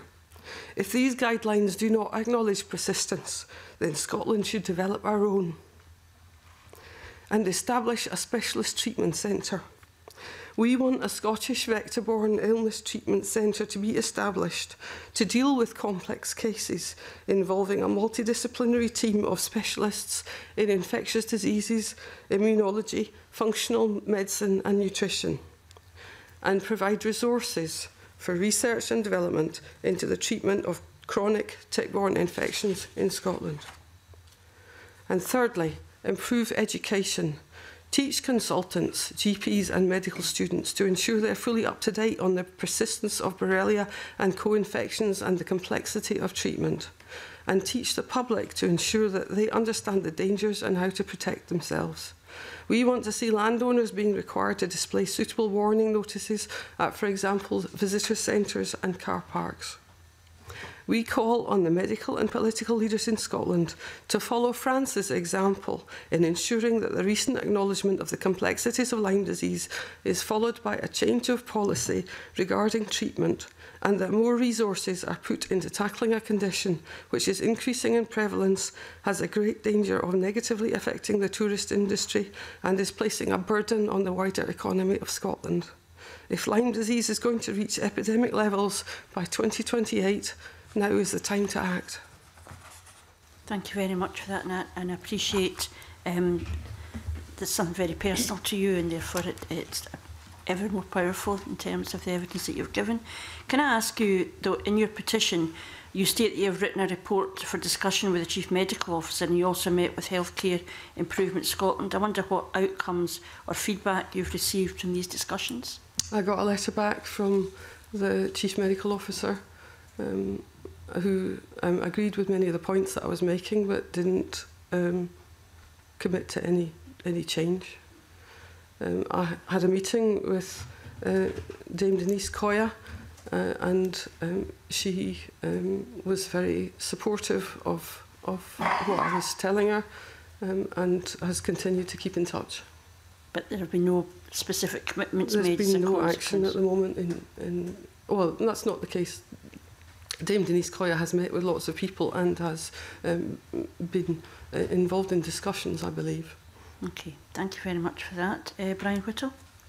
Mm, thank you, Vera, and thank you, good morning. Thank you very much for your, for your evidence. I have to say, I've a little bit of, um, uh, personal about this as well because I know that one of, one of the athletes down the track uh, contracted Lyme disease, and uh, that was actually down to apparently the grass not being cut off enough down, down at the uh, down at the stadium. So um, I, I have a little bit of understanding of, of this particular issue. And it, uh, you said there are numerous issues with testing, and if I could explore that with you, uh, if I may. Uh, you've quoted Lyme Disease Action as saying there are no conclusive tests uh, currently uh, in use in the UK that will accurately diagnose Lyme disease or distinguish from past infection. Um, are you aware of other countries that do have this? I know you've kind of alluded to that before, but uh, other countries that do have these tests? Um, a lot of the, the tests that are there don't, just don't, there are no markers of active infection for Borrelia, and that, that's part of the problem.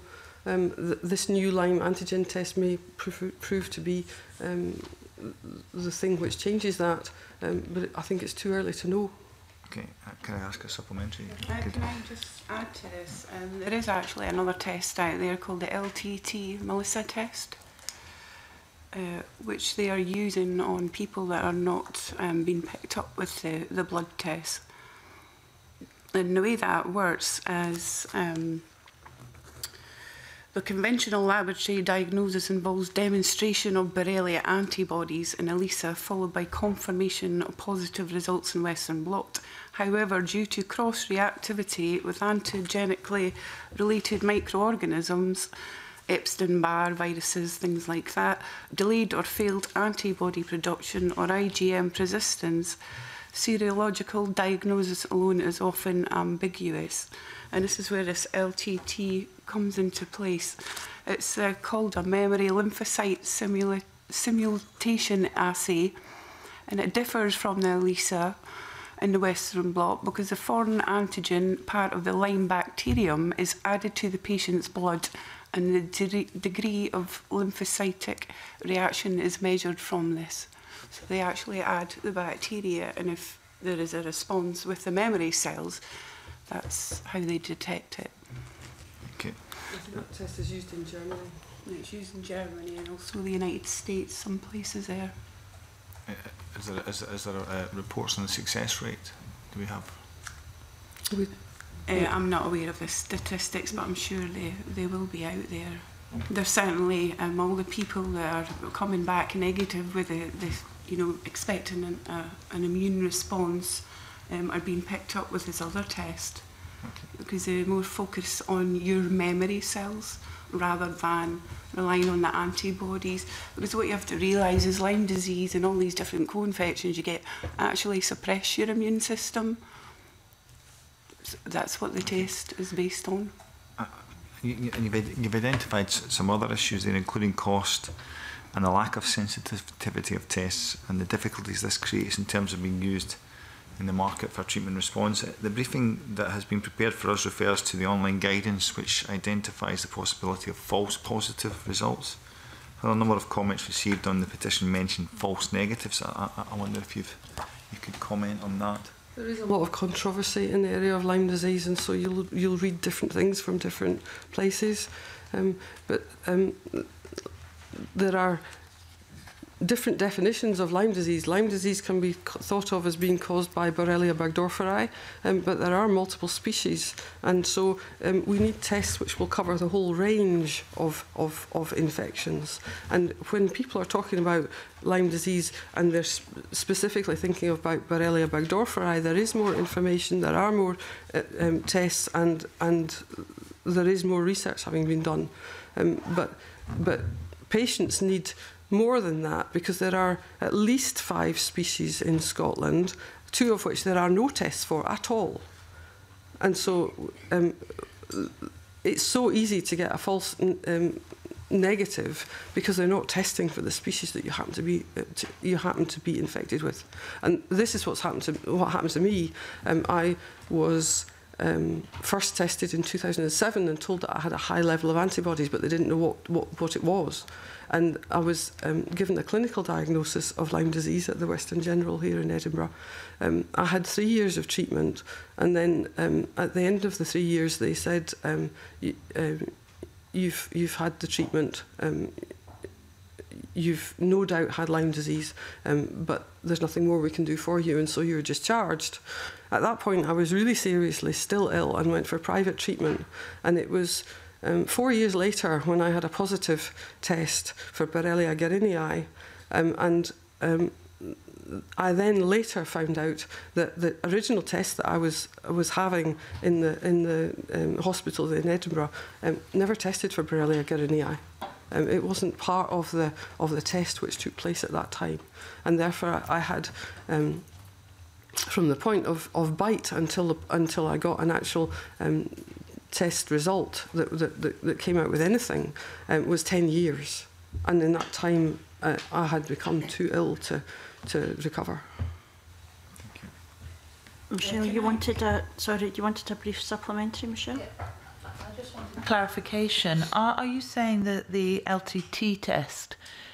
can actually, on, on a retest of the false negatives, will pick up all the, the elements of Borrelia, including the two that we can't currently test for. We're not experts in the medical side of things, but many patients are being um, diagnosed using the, the LTT Melissa test, where in when they're tested in the UK, they, they, they, they're not being given a diagnosis. They're, they're, they're, they're not given a diagnosis, and therefore they don't get treatment. And they then go abroad to get treatment, to try and get to get an answer to what's wrong. And in using this test, they get they get um, an answer. It may not be the full answer but but what it will presumably say because the the increased activity in that memory recognition will tell them there's something going on, but not necessarily the form of Borrelia that's present. Well, it depends it, on the Borrelia that's been added to the test. Right. Um, and obviously, they, they have about 20 different strains. Obviously, they use the most common European strains. Um, and, um, and they also test for co-infections as well, like Babesia, which is a parasite. Yeah. I've actually got that, which I got from a tick. Um, and the NHS in this country didn't couldn't test for it. There are many tests that don't that are not available here. Um, I believe I may have also been infected with um, Bartonella at the same time in, uh, in the tick bite, and um, I've asked for Bartonella testing to be done and been told that there are no Bartonella tests done in Scotland now. And I've also um, there are multiple species of of Babesia, and um, I've only been tested for one of them.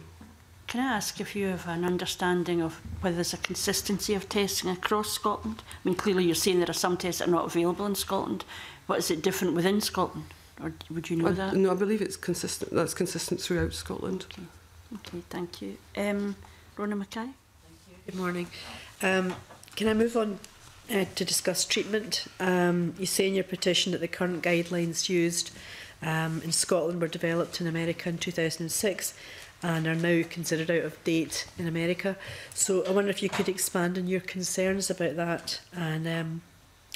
you know what what they are basically what the guidelines are and why you're concerned that they'd be out of date here too.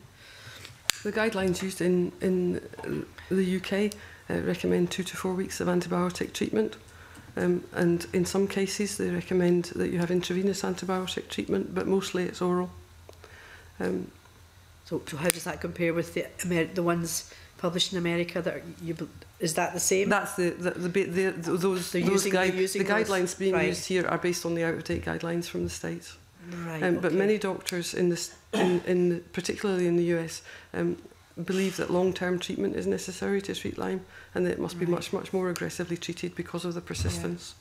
And, so, the tendency here is to stick to those 2006 guidelines. Very much so, yeah. yes. Okay. yes. But the research, uh, has been since then, they're, they're discovering that the Borrelia bacteria is a very clever bacteria.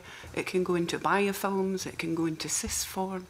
So they've discovered that a multi antibiotic approach to cover all the co-infections as well that's been found is getting people well. And it's not a quick treatment. This is done over years. What would your sort of preferred options be for treatment? You know, if, if, if you could say, right, you know, this is how we would change it, what would you prefer to have done? I would love them just to go with the research that's already out there. Um, uh -huh. There's a doctor called Dr. Horowitz uh -huh. um, uh-huh. from New York. He's actually gone as far as uh, writing and designing symptom checklists mm -hmm. for patients and doctors. Um, and from that, he can narrow down the chances of, for instance, you having the co-infection Babesia along with the Borrelia bacteria that cause Lyme disease uh, purely by symptoms. And with that, that determines what medication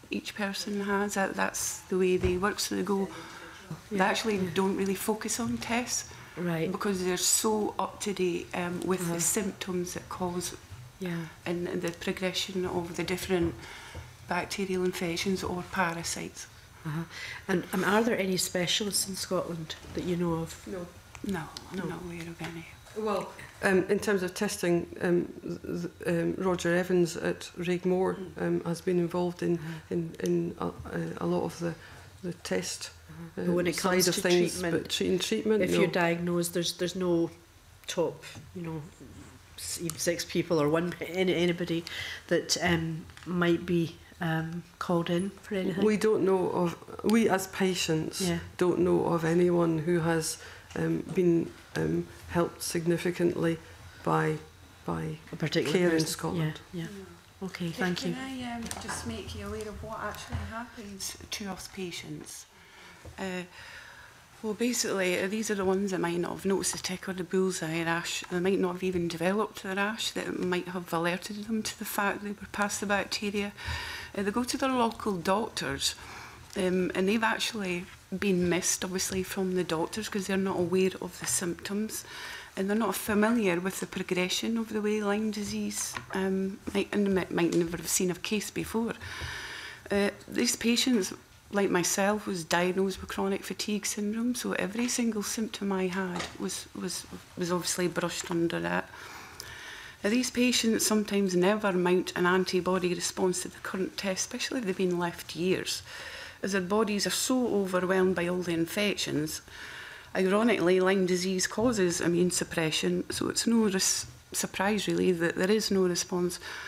So these people without positive tests or adequate treatment are left seriously ill and often moved about the NHS system without an accurate diagnosis.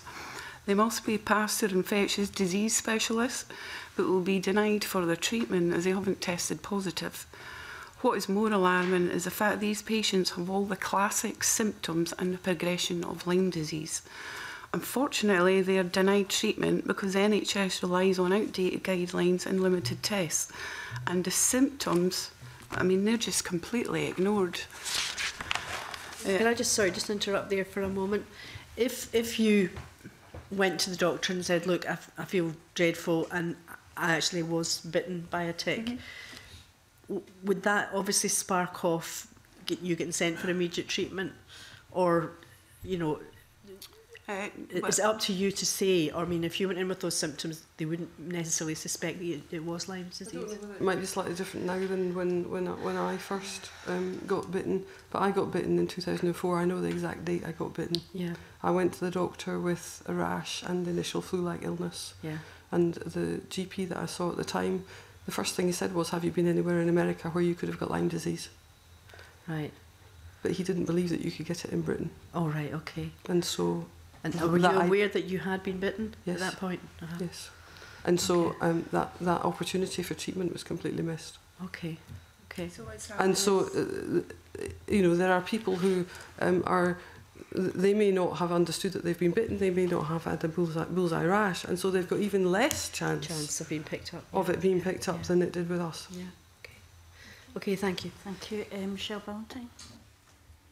Yeah, um, following on from the issue of treatment, you've indicated that you'd like to see the establishment of a Scotch, Scottish vector-borne illness set, treatment centre um, with a multidisciplinary team, multidisciplinary team in place.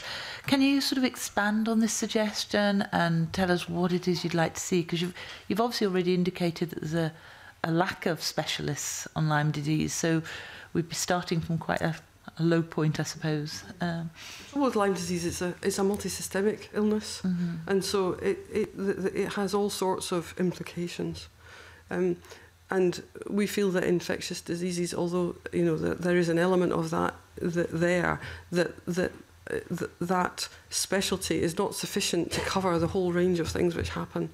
Um, the, these infections can um, modulate the, the biochemical mechanisms which um, occur in the body um, and therefore need functional um, medicine uh, specialists in order to be able to understand that. Um, for instance, you might need um, supplementation with, with um, vitamins or, and, and other um, supplements in order to be able to compensate for those sort of things which happen. Um, th there are um, nutritional aspects to things um, which uh, come about. Um, the Lyme disease for me um, caused a complete intolerance to gluten, gluten, and I've had to modify my diet significantly in order to stay stable. Um, and so um, it would be really helpful to have specialists who could who could um, cover that side of things. Um, that it, we don't believe that any one specialty has enough enough. If you if you're focusing on a specialty, you're not focusing on the complete whole of that person. And because it's multisystemic and because it has so many consequences, um, we believe it would be much better um, treated with with multiple specialties. And that's what patients are getting when they go abroad for treatment. They get um, organisations which are geared up to, to having multiple specialties looking after their patients.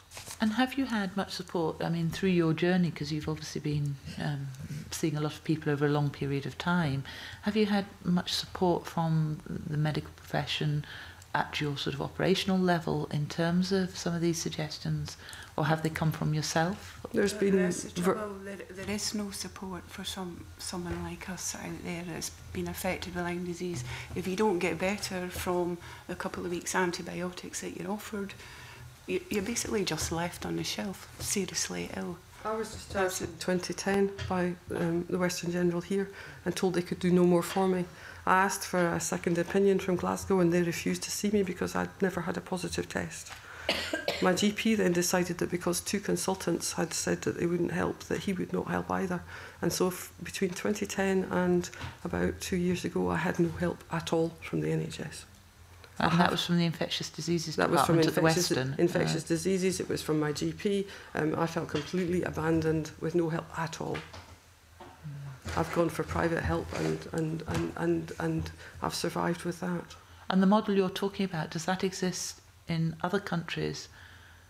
Yes,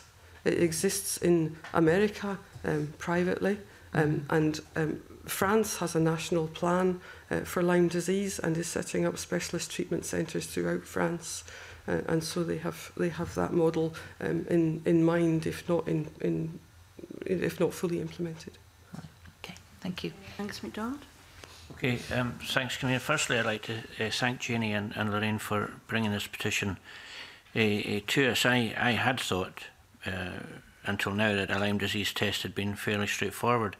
Uh, and having had a number of uh, tick bites myself over the years, it's, it's actually been on my to-do list uh, to have the test. However, I didn't realise it was uh, far from straightforward.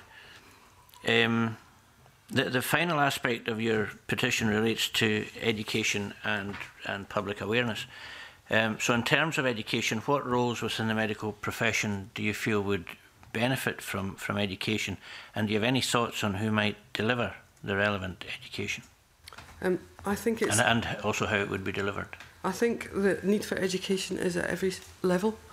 Um, a lot of the barriers that patients are finding is when we um, reach the consultants that they are following the guidelines and therefore um, they're then Uh, we were then being abandoned because the guidelines are, are being followed and then and then we just drop off the end of the of the, of, of the treatment and so um, we would like to see a specialist treatment center being set up which would involve um, consultants going to um, work with doctors um, who believe in the persistence of chronic Lyme disease and would therefore they would therefore learn from them and then other consultants within Scotland could then learn from the specialist treatment centre.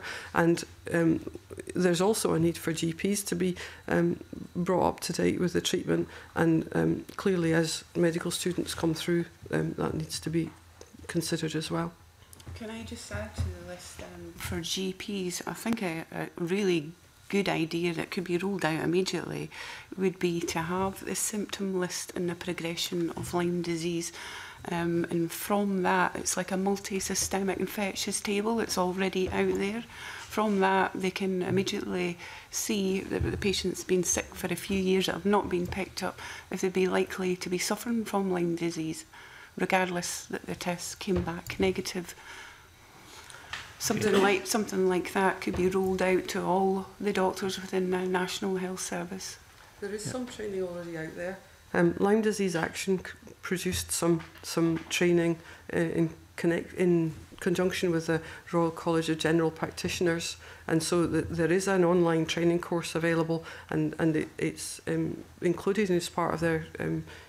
continuing professional development um, element of their training. Um, but the last I heard, only three percent of general practitioners had actually taken that training. And it doesn't really alert and it's, to all the symptoms of Lyme disease. And it's also somewhat out of date now. Yeah. And of course, you also have the issue of uh, urban GPs maybe not being as aware of it as uh, as uh, yes, it's GPs my in, in rural areas. It's my understanding that a lot of the GPs in the Highlands are much better educated than elsewhere. Mm -hmm. Yeah. Okay, um, you, you'll also be aware that there's been um, significant or some media interest uh, with regard to coverage of Lyme disease recently. Um, and that includes support uh, for your petition from gamekeepers and moorland managers. Are you encouraged by that? Yes, yes. Okay. Um, we've had a lot of um, of mention of support, um, if not publicly, at least privately, um, and there have been a number of bodies who've who've, who've um, been in touch and, and um, said that they're prepared to support. Okay, and, and what other initiatives or stakeholders' involvement can can you see raising awareness out there? We would even like to go as far as uh, national um, trust services, you know, like um, monuments and things that are in, out in the country. We, we really like it. Awareness rolled out everywhere if possible, especially Lake District. I, I believe there's now leaflets there, but as someone else that's suffering from Lyme disease, putting the leaflets there, you know, There's just not much information out there for the public. The, the leaflet's been funded privately, it hasn't been? Yeah, from the charities, Lyme Disease Action, you know, we, we ring them up and say, can we have some leaflets? And then I go down and I put them in my GP surgery. Hmm. That's basically um, all the awareness that's done. Yeah. Okay, thank you. Okay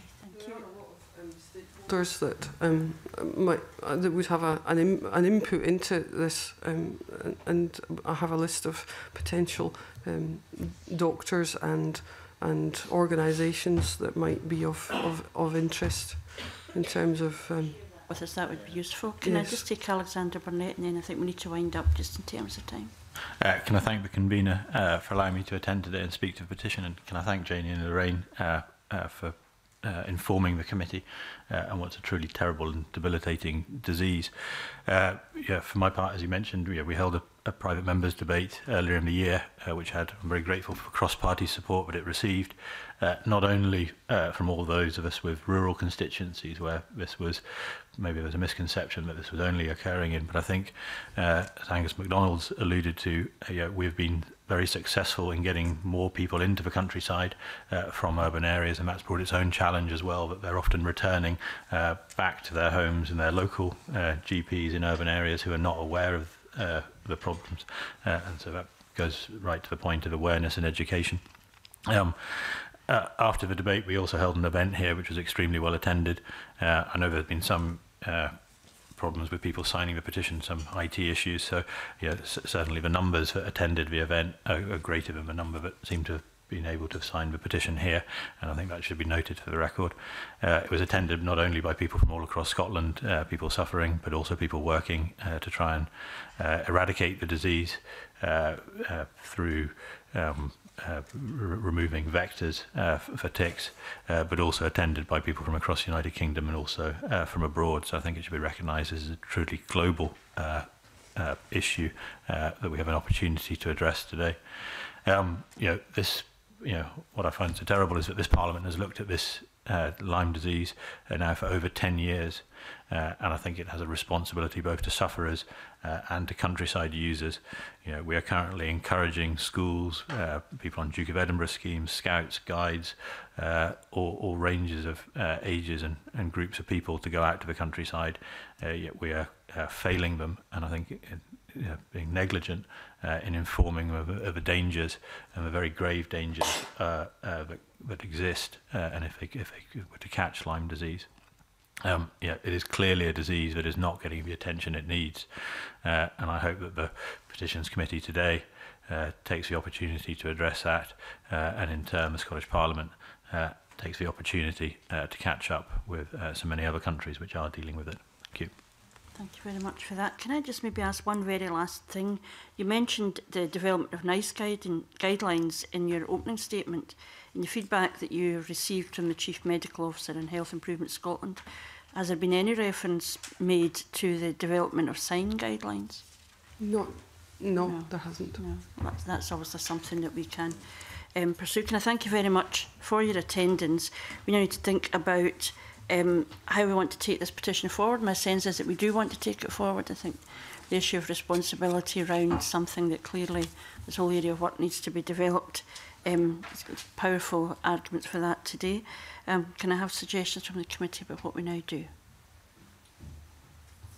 Rona? The Scottish Government and the UK Government and the various um, interested stakeholders, um, Lyme Disease UK, Lyme Disease Action, SNH, um, NICE, Um, and also, I was quite shocked to hear that only 3% of GPs had taken up the training. So could we maybe write to the GP body, I don't know what you call it, but just to ask them about that and get the response to that. Okay, and if, if the, witnesses, as you think already suggested, um, you have suggestions for stakeholders that would be worthwhile our contacting, you can obviously just feed that back to the clerks. That, that, be, that would be um, excellent. We can just we can um, get that at the end of the meeting. Um, And I think that we would be obviously keen that this matter has progressed. I think there's a whole range there that we've suggested um, and perhaps suggesting also an NHS boards because they must be given advice within their own systems. Yeah. Angus? Convener, thanks. Could I also suggest we write to NFUS and Scottish Land and Estates to get their views okay. on the issue as well? for the Veterinary Council as well, but funny enough, Lyme disease has been well promoted through the equine world at the moment. Um, there's, there's a growing awareness, and they seem to be doing quite a good job. So it might be worth linking up with some of the animal welfare side as well. Okay. Can Protection Network's Lyme disease subgroup is a Professor Dominic Miller, who's a, a vet, and he would be well worth contacting. Yeah. Okay, as I've said, if there's a, a list there that we can, you know, ensure the clerks have, have access to, then we can make sure that we get as much information back as possible. Is there any way that um, we could get information from, like, so the doctors that have all the research and are curing people at the moment, like Dr Horowitz, because I think he'd be quite happy to work with the government? I think, well, my sense would be in the first instance we should write to stakeholders. Mm -hmm. You clearly have a, somebody is regards an expert elsewhere, and that's something that we can reflect on further once we know yeah what medical profession and other related organisations within Scotland and the UK are actually doing. But that's not not something we would close our door to, I don't think at all. Um, can I again thank the petitioners very much for your evidence and can I suspend the meeting briefly to allow for um, um, a change of witnesses. We will be coming back to you about the whole issue of responses we've received and when we'll next be considering the petition and you'll have an opportunity to respond further. Thank you.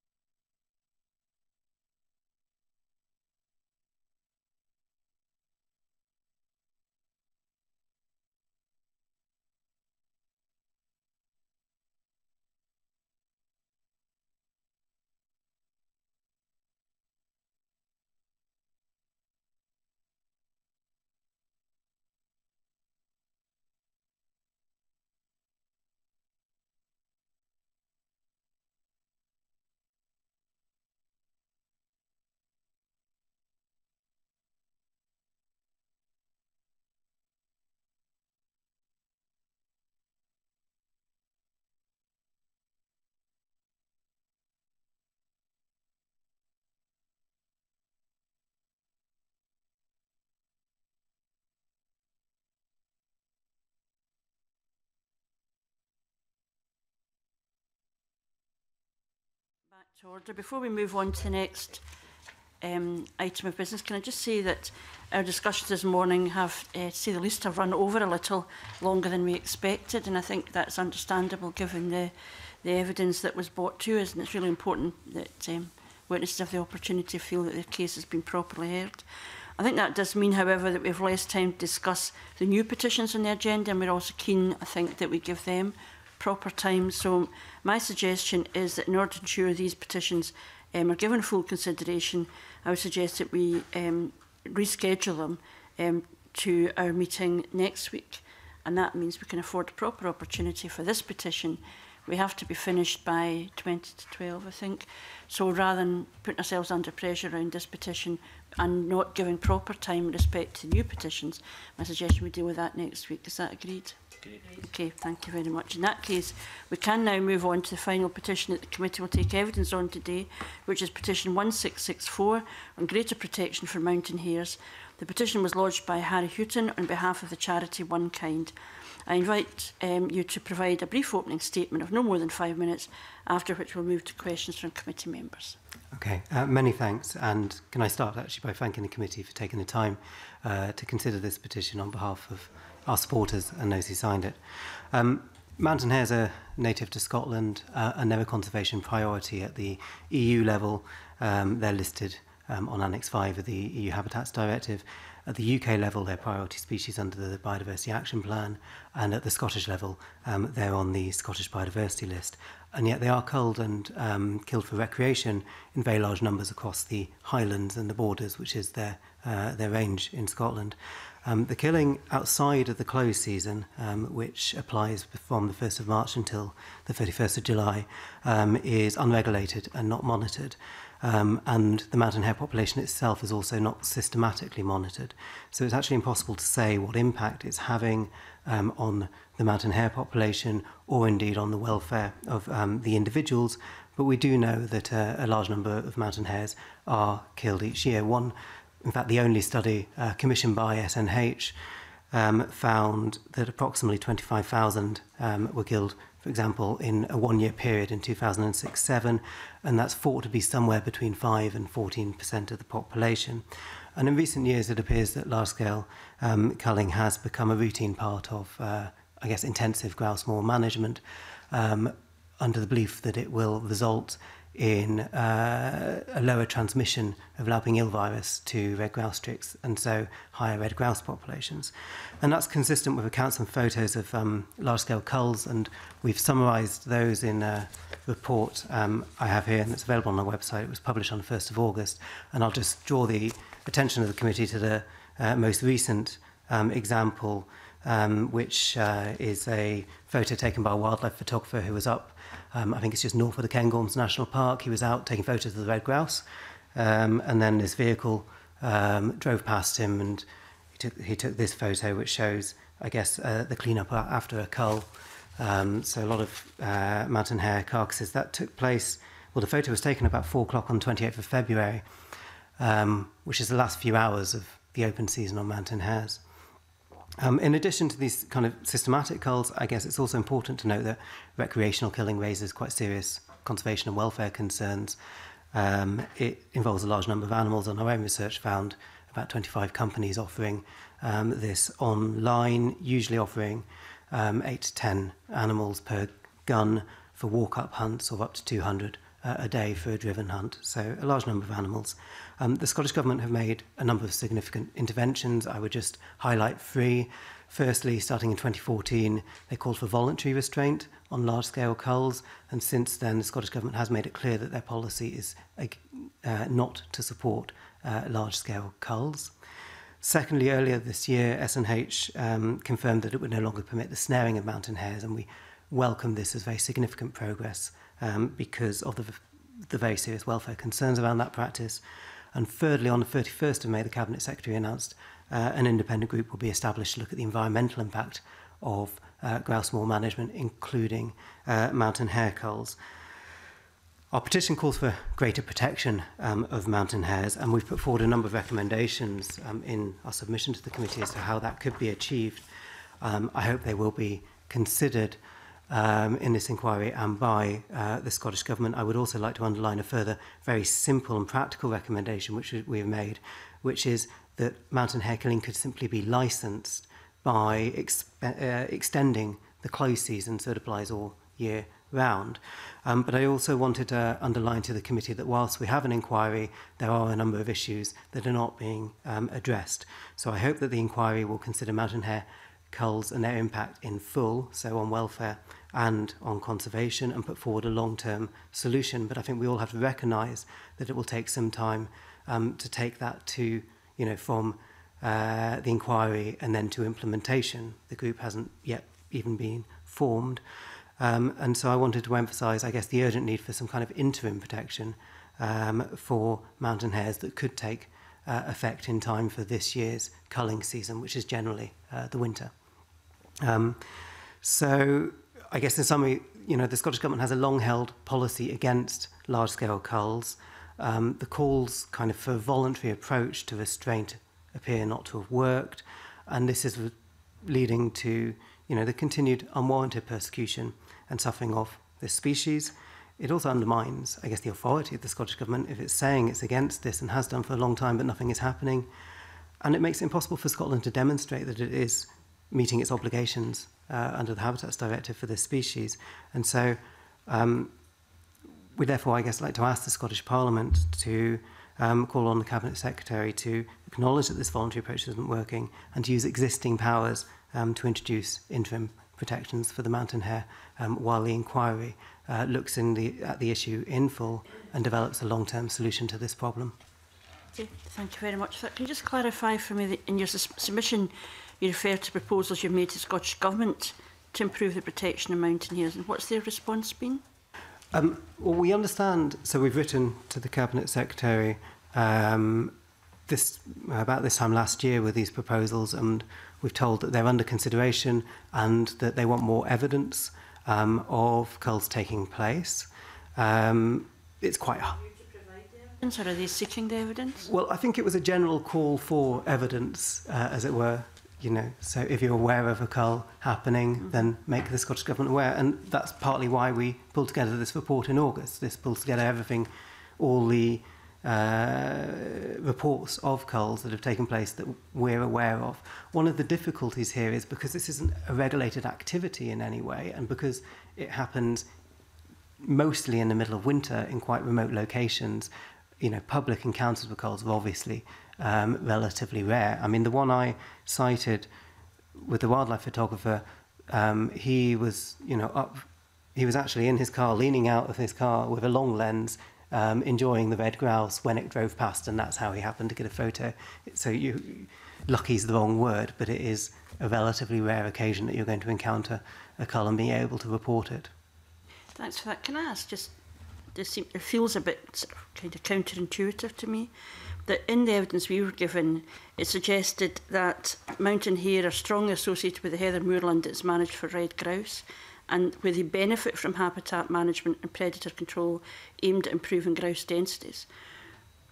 I've probably got this completely wrong, but does that mean there are more mountain hare precisely because there is more, um, there are man-made or human-made um, habitat in order to, to allow for you know, grouse sport or whatever. Yeah, so part of the management regime of grouse moors creates, um, uh, I guess, a good environment for mountain hares. So, uh, for example, predator control um, means that mountain hares will thrive more. The heather environment that's maintained for grouse is also uh, a good habitat for mountain hares. So you will get mountain hares um, doing well um, on grouse moors. That's absolutely right. Um, but in terms of the overall population trend, it's actually quite difficult to answer. And I think this is covered partly in um, the, the briefing to the committee because it's not, there's no systematic monitoring. There is research currently being conducted, commissioned by the Scottish Government, into developing better methodologies for counting mountain hares that I hope will at one point lead us to an actual population estimate so we can provide um, you know, an authoritative uh, overview of how the population is doing. But until then, all we can go on is the bits of data we have, which is some monitoring by uh, the British Stratiform Ornithology, who is part of their breeding bird survey, also monitor some mammals, including mountain hares. Their data um, from 1994 uh, to um, 2014 suggested a fairly significant decline. In more recent years, it's gone up a little bit, so it might be that we're in a cycle of population, it's hard to tell. Um, but then other kind of, I guess, there's more also reports of more localized um, extinctions or reductions in populations. So the Mammal Society, for example, note a number of moors where they were once common, but they are uh, no longer. And um, Adam Watson, who's a leading ecologist in this field, also notes um, areas, particularly in the West Highlands, where you would expect to see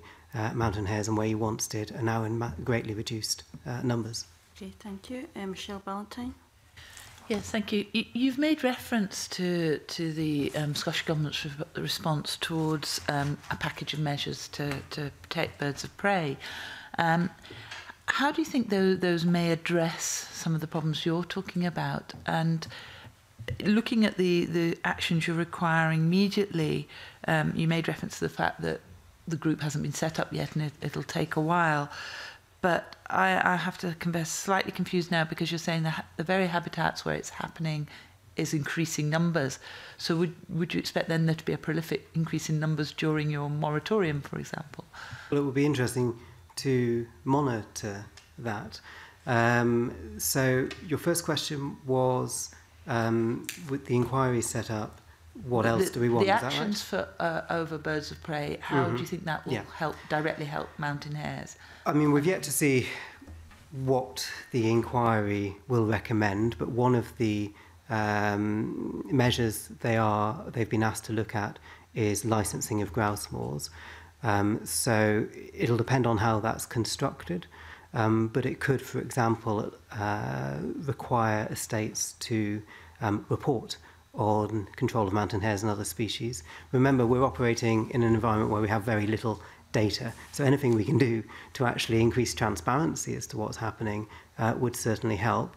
Um, and but I would hope that the inquiry will also look at specific measures um, to protect uh, mountain hares. I mean, in in terms of and then your second uh, question was the kind of paradox about a grouse moor is quite a good habitat mm. uh, for mountain hares. So that's absolutely right. Um, it can be a good habitat for mountain hares, but I don't think we would we would argue that that doesn't justify culling them.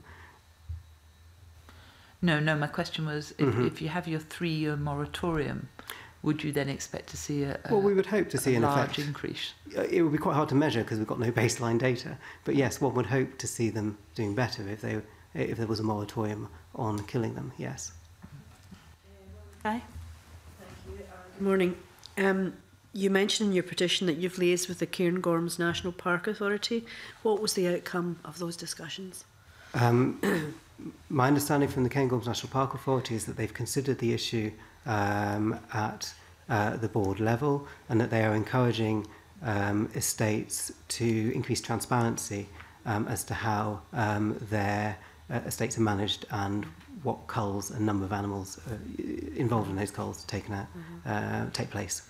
can I just ask you? Sure. Mm-hmm. um, can I just go back to licensing and regulation that you talked about? Mm -hmm. um, how easy or you know how straightforward would that be to do? Is it would it be a huge administrative thing, and are, are people likely to take it up? And you know, do you mean it should be it should be legislated for or? Yeah, so I mean, licensing of um, grouse moors is will hopefully be, a, I guess, a bigger policy uh, in that it will take, it will consider a lot of issues and problems related to grouse moor uh, management.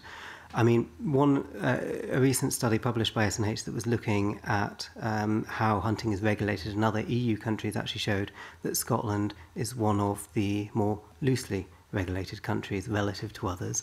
And so I think there very much is, and indeed as all of these problems show, space um, to introduce uh, new uh, regulation. I think the inquiry will be able to answer your question in full, though, because they'll be able to look at how a licensing scheme could be constructed, what it should include, and how it could be um, delivered. Okay, thank you. Yeah, Angus MacDonald. Okay, thanks. Um, you, already made reference to the uh, research project being conducted by the, the Scottish Government, but uh, can you tell us more about who's been involved in the project and its scope, um, and also uh, your understanding of when the findings of the project will be available? Um, I can certainly relay my understanding of that, and it will be um, useful actually to get an update. But my understanding from Scottish Natural Heritage um, is that the work has been commissioned through uh, the James Hutton Institute to develop a and trial a methodology for, for providing um, a uh, mountain hare kind of population census. Um, so that's been trialed on a number of estates, and the work should be published towards the end of the year. The challenge we have is that it doesn't answer a lot, it won't immediately or for some time answer a lot of the questions that we have, i.e., it won't give us a national population um, uh, estimate, nor will it tell us much about the impact um, that culling and recreational killing is having on that population. So, for that to happen, again, my understanding is that further research would need to be done to effectively apply that methodology. Um, so, you know, it's it's baby steps. It's welcome. Um, but it's going to be some time before it begins to answer those questions, which again I think underlines um, the importance for some kind of interim uh, measure to protect mountain hares. And that interim measure, uh, as you would prefer, would be a three-year moratorium?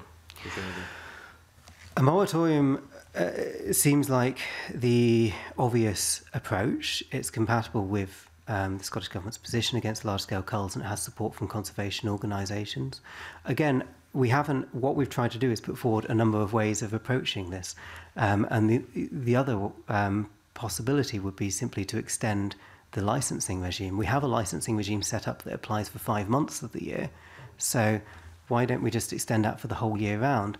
And if we ran that for a few years, not only I think would that result in fewer mountain hares um, being killed, but it would provide really quite essential data about the level to which the species um, is being uh, controlled.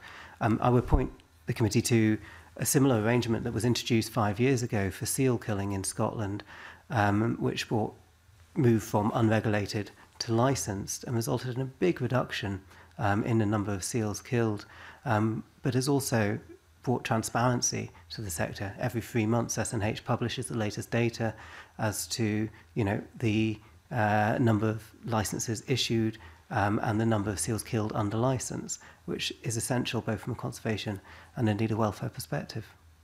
Okay, thanks. Um, it's helpful to have that on record. Mm -hmm. Thank you. Brian Whittle.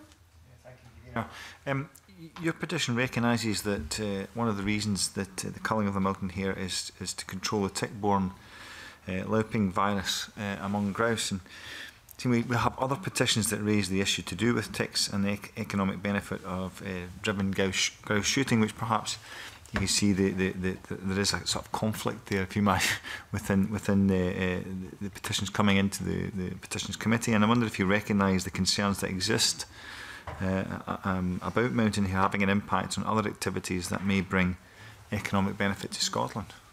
Yes, indeed, and I listened to the previous petition with um, with uh, strong interest. I mean, the so let's start at the beginning, which is that according to the study commissioned by SNH that I cited earlier, about 50% of um, the hares killed in that year was part of organised culls on grouse moors to control um, ticks under the or with the aim of reducing um, the the prevalence of Lauping ill in red grouse chicks. So effectively the aim is to uh, sustain a higher population of red grouse for, for shooting by controlling you know, the tick vector.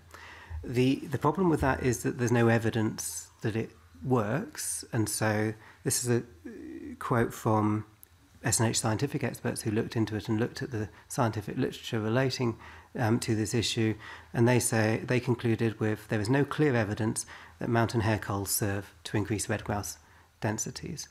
Um, so I think it's based more on an assumption uh, rather than on any actual evidence. Um, as for now, that's Lauping ill, which is obviously uh, a different virus from the one that the committee um, was considering in the previous um, evidence session.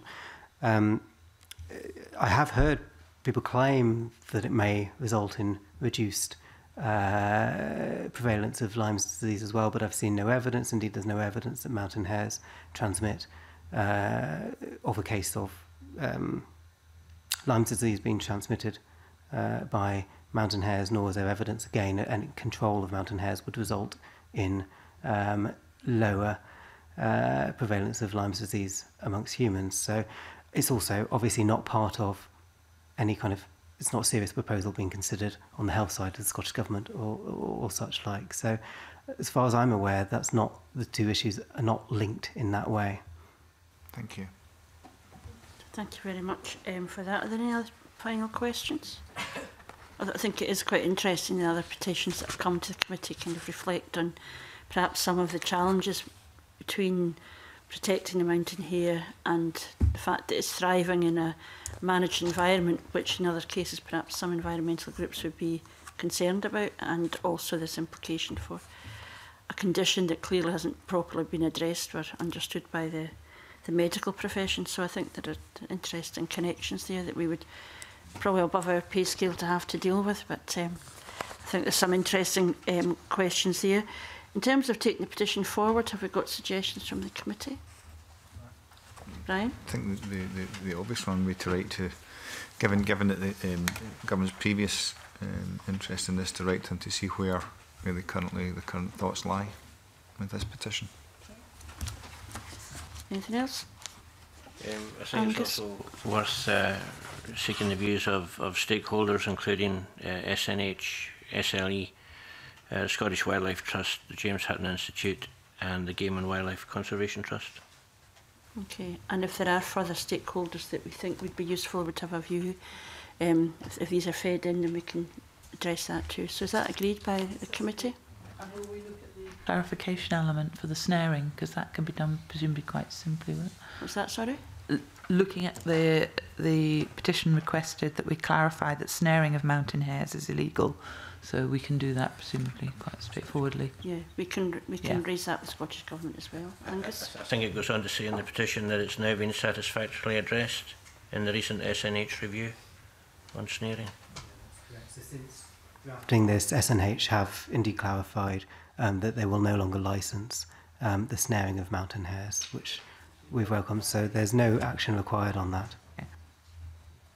in that case, um, think we've agreed what, what, how we would take that petition forward. And again, um, you will have the opportunity to comment on any evidence and response that comes in from the Scottish Government and others. So can I thank you very much for your attendance.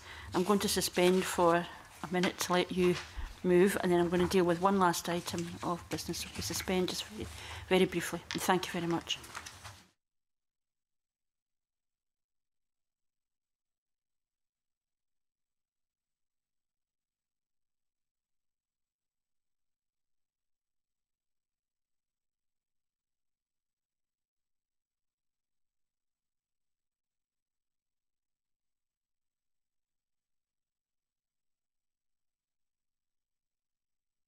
reminder that we're not going to be dealing with um, the, the item 3 on new petitions in which we're not taking evidence.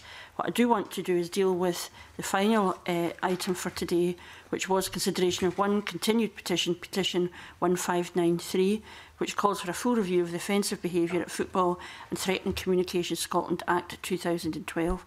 We last considered this petition at our meeting on the 29th of September 2016 when we agreed to defer further consideration of the petition until the outcome of James Kelly MSP's consultation on a proposed Members' Bill was known, as members are now aware the outcome of that proposed of that process was that Mr Kelly was able to secure sufficient support for his proposal and has now introduced the offensive behaviour at football and threatening communications repeal Scotland Bill.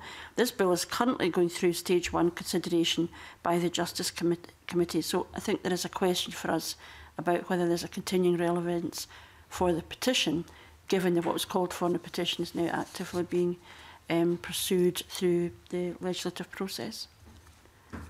Angus? Um, thanks, um, Convener. I think uh, this petition should be closed given that action's already, as you say, been taken by uh, the Justice Committee, which would make further work on this by the Petitions Committee seem uh, redundant. Uh, and as we know, there's also the review of hate crime, uh, which is underway and will include the OBFA uh, being looked at. So I would move to close. Okay, and so that would be under uh, Rule 15.7 of Standing Orders um, we would be closing the petition on the basis that the action called for in the petition is reflected in the offensive behaviour at football and threatening communications repeal Scotland Bill, introduced by James Kelly. We'll also have the opportunity as a Parliament to vote on the bill in, in due course, and I think Angus MacDonald's comments on the work of the Scottish Government in this area is, all, is also relevant. So is that agreed? Agreed. Okay, with that, can I thank you very much for your attendance and I close the meeting.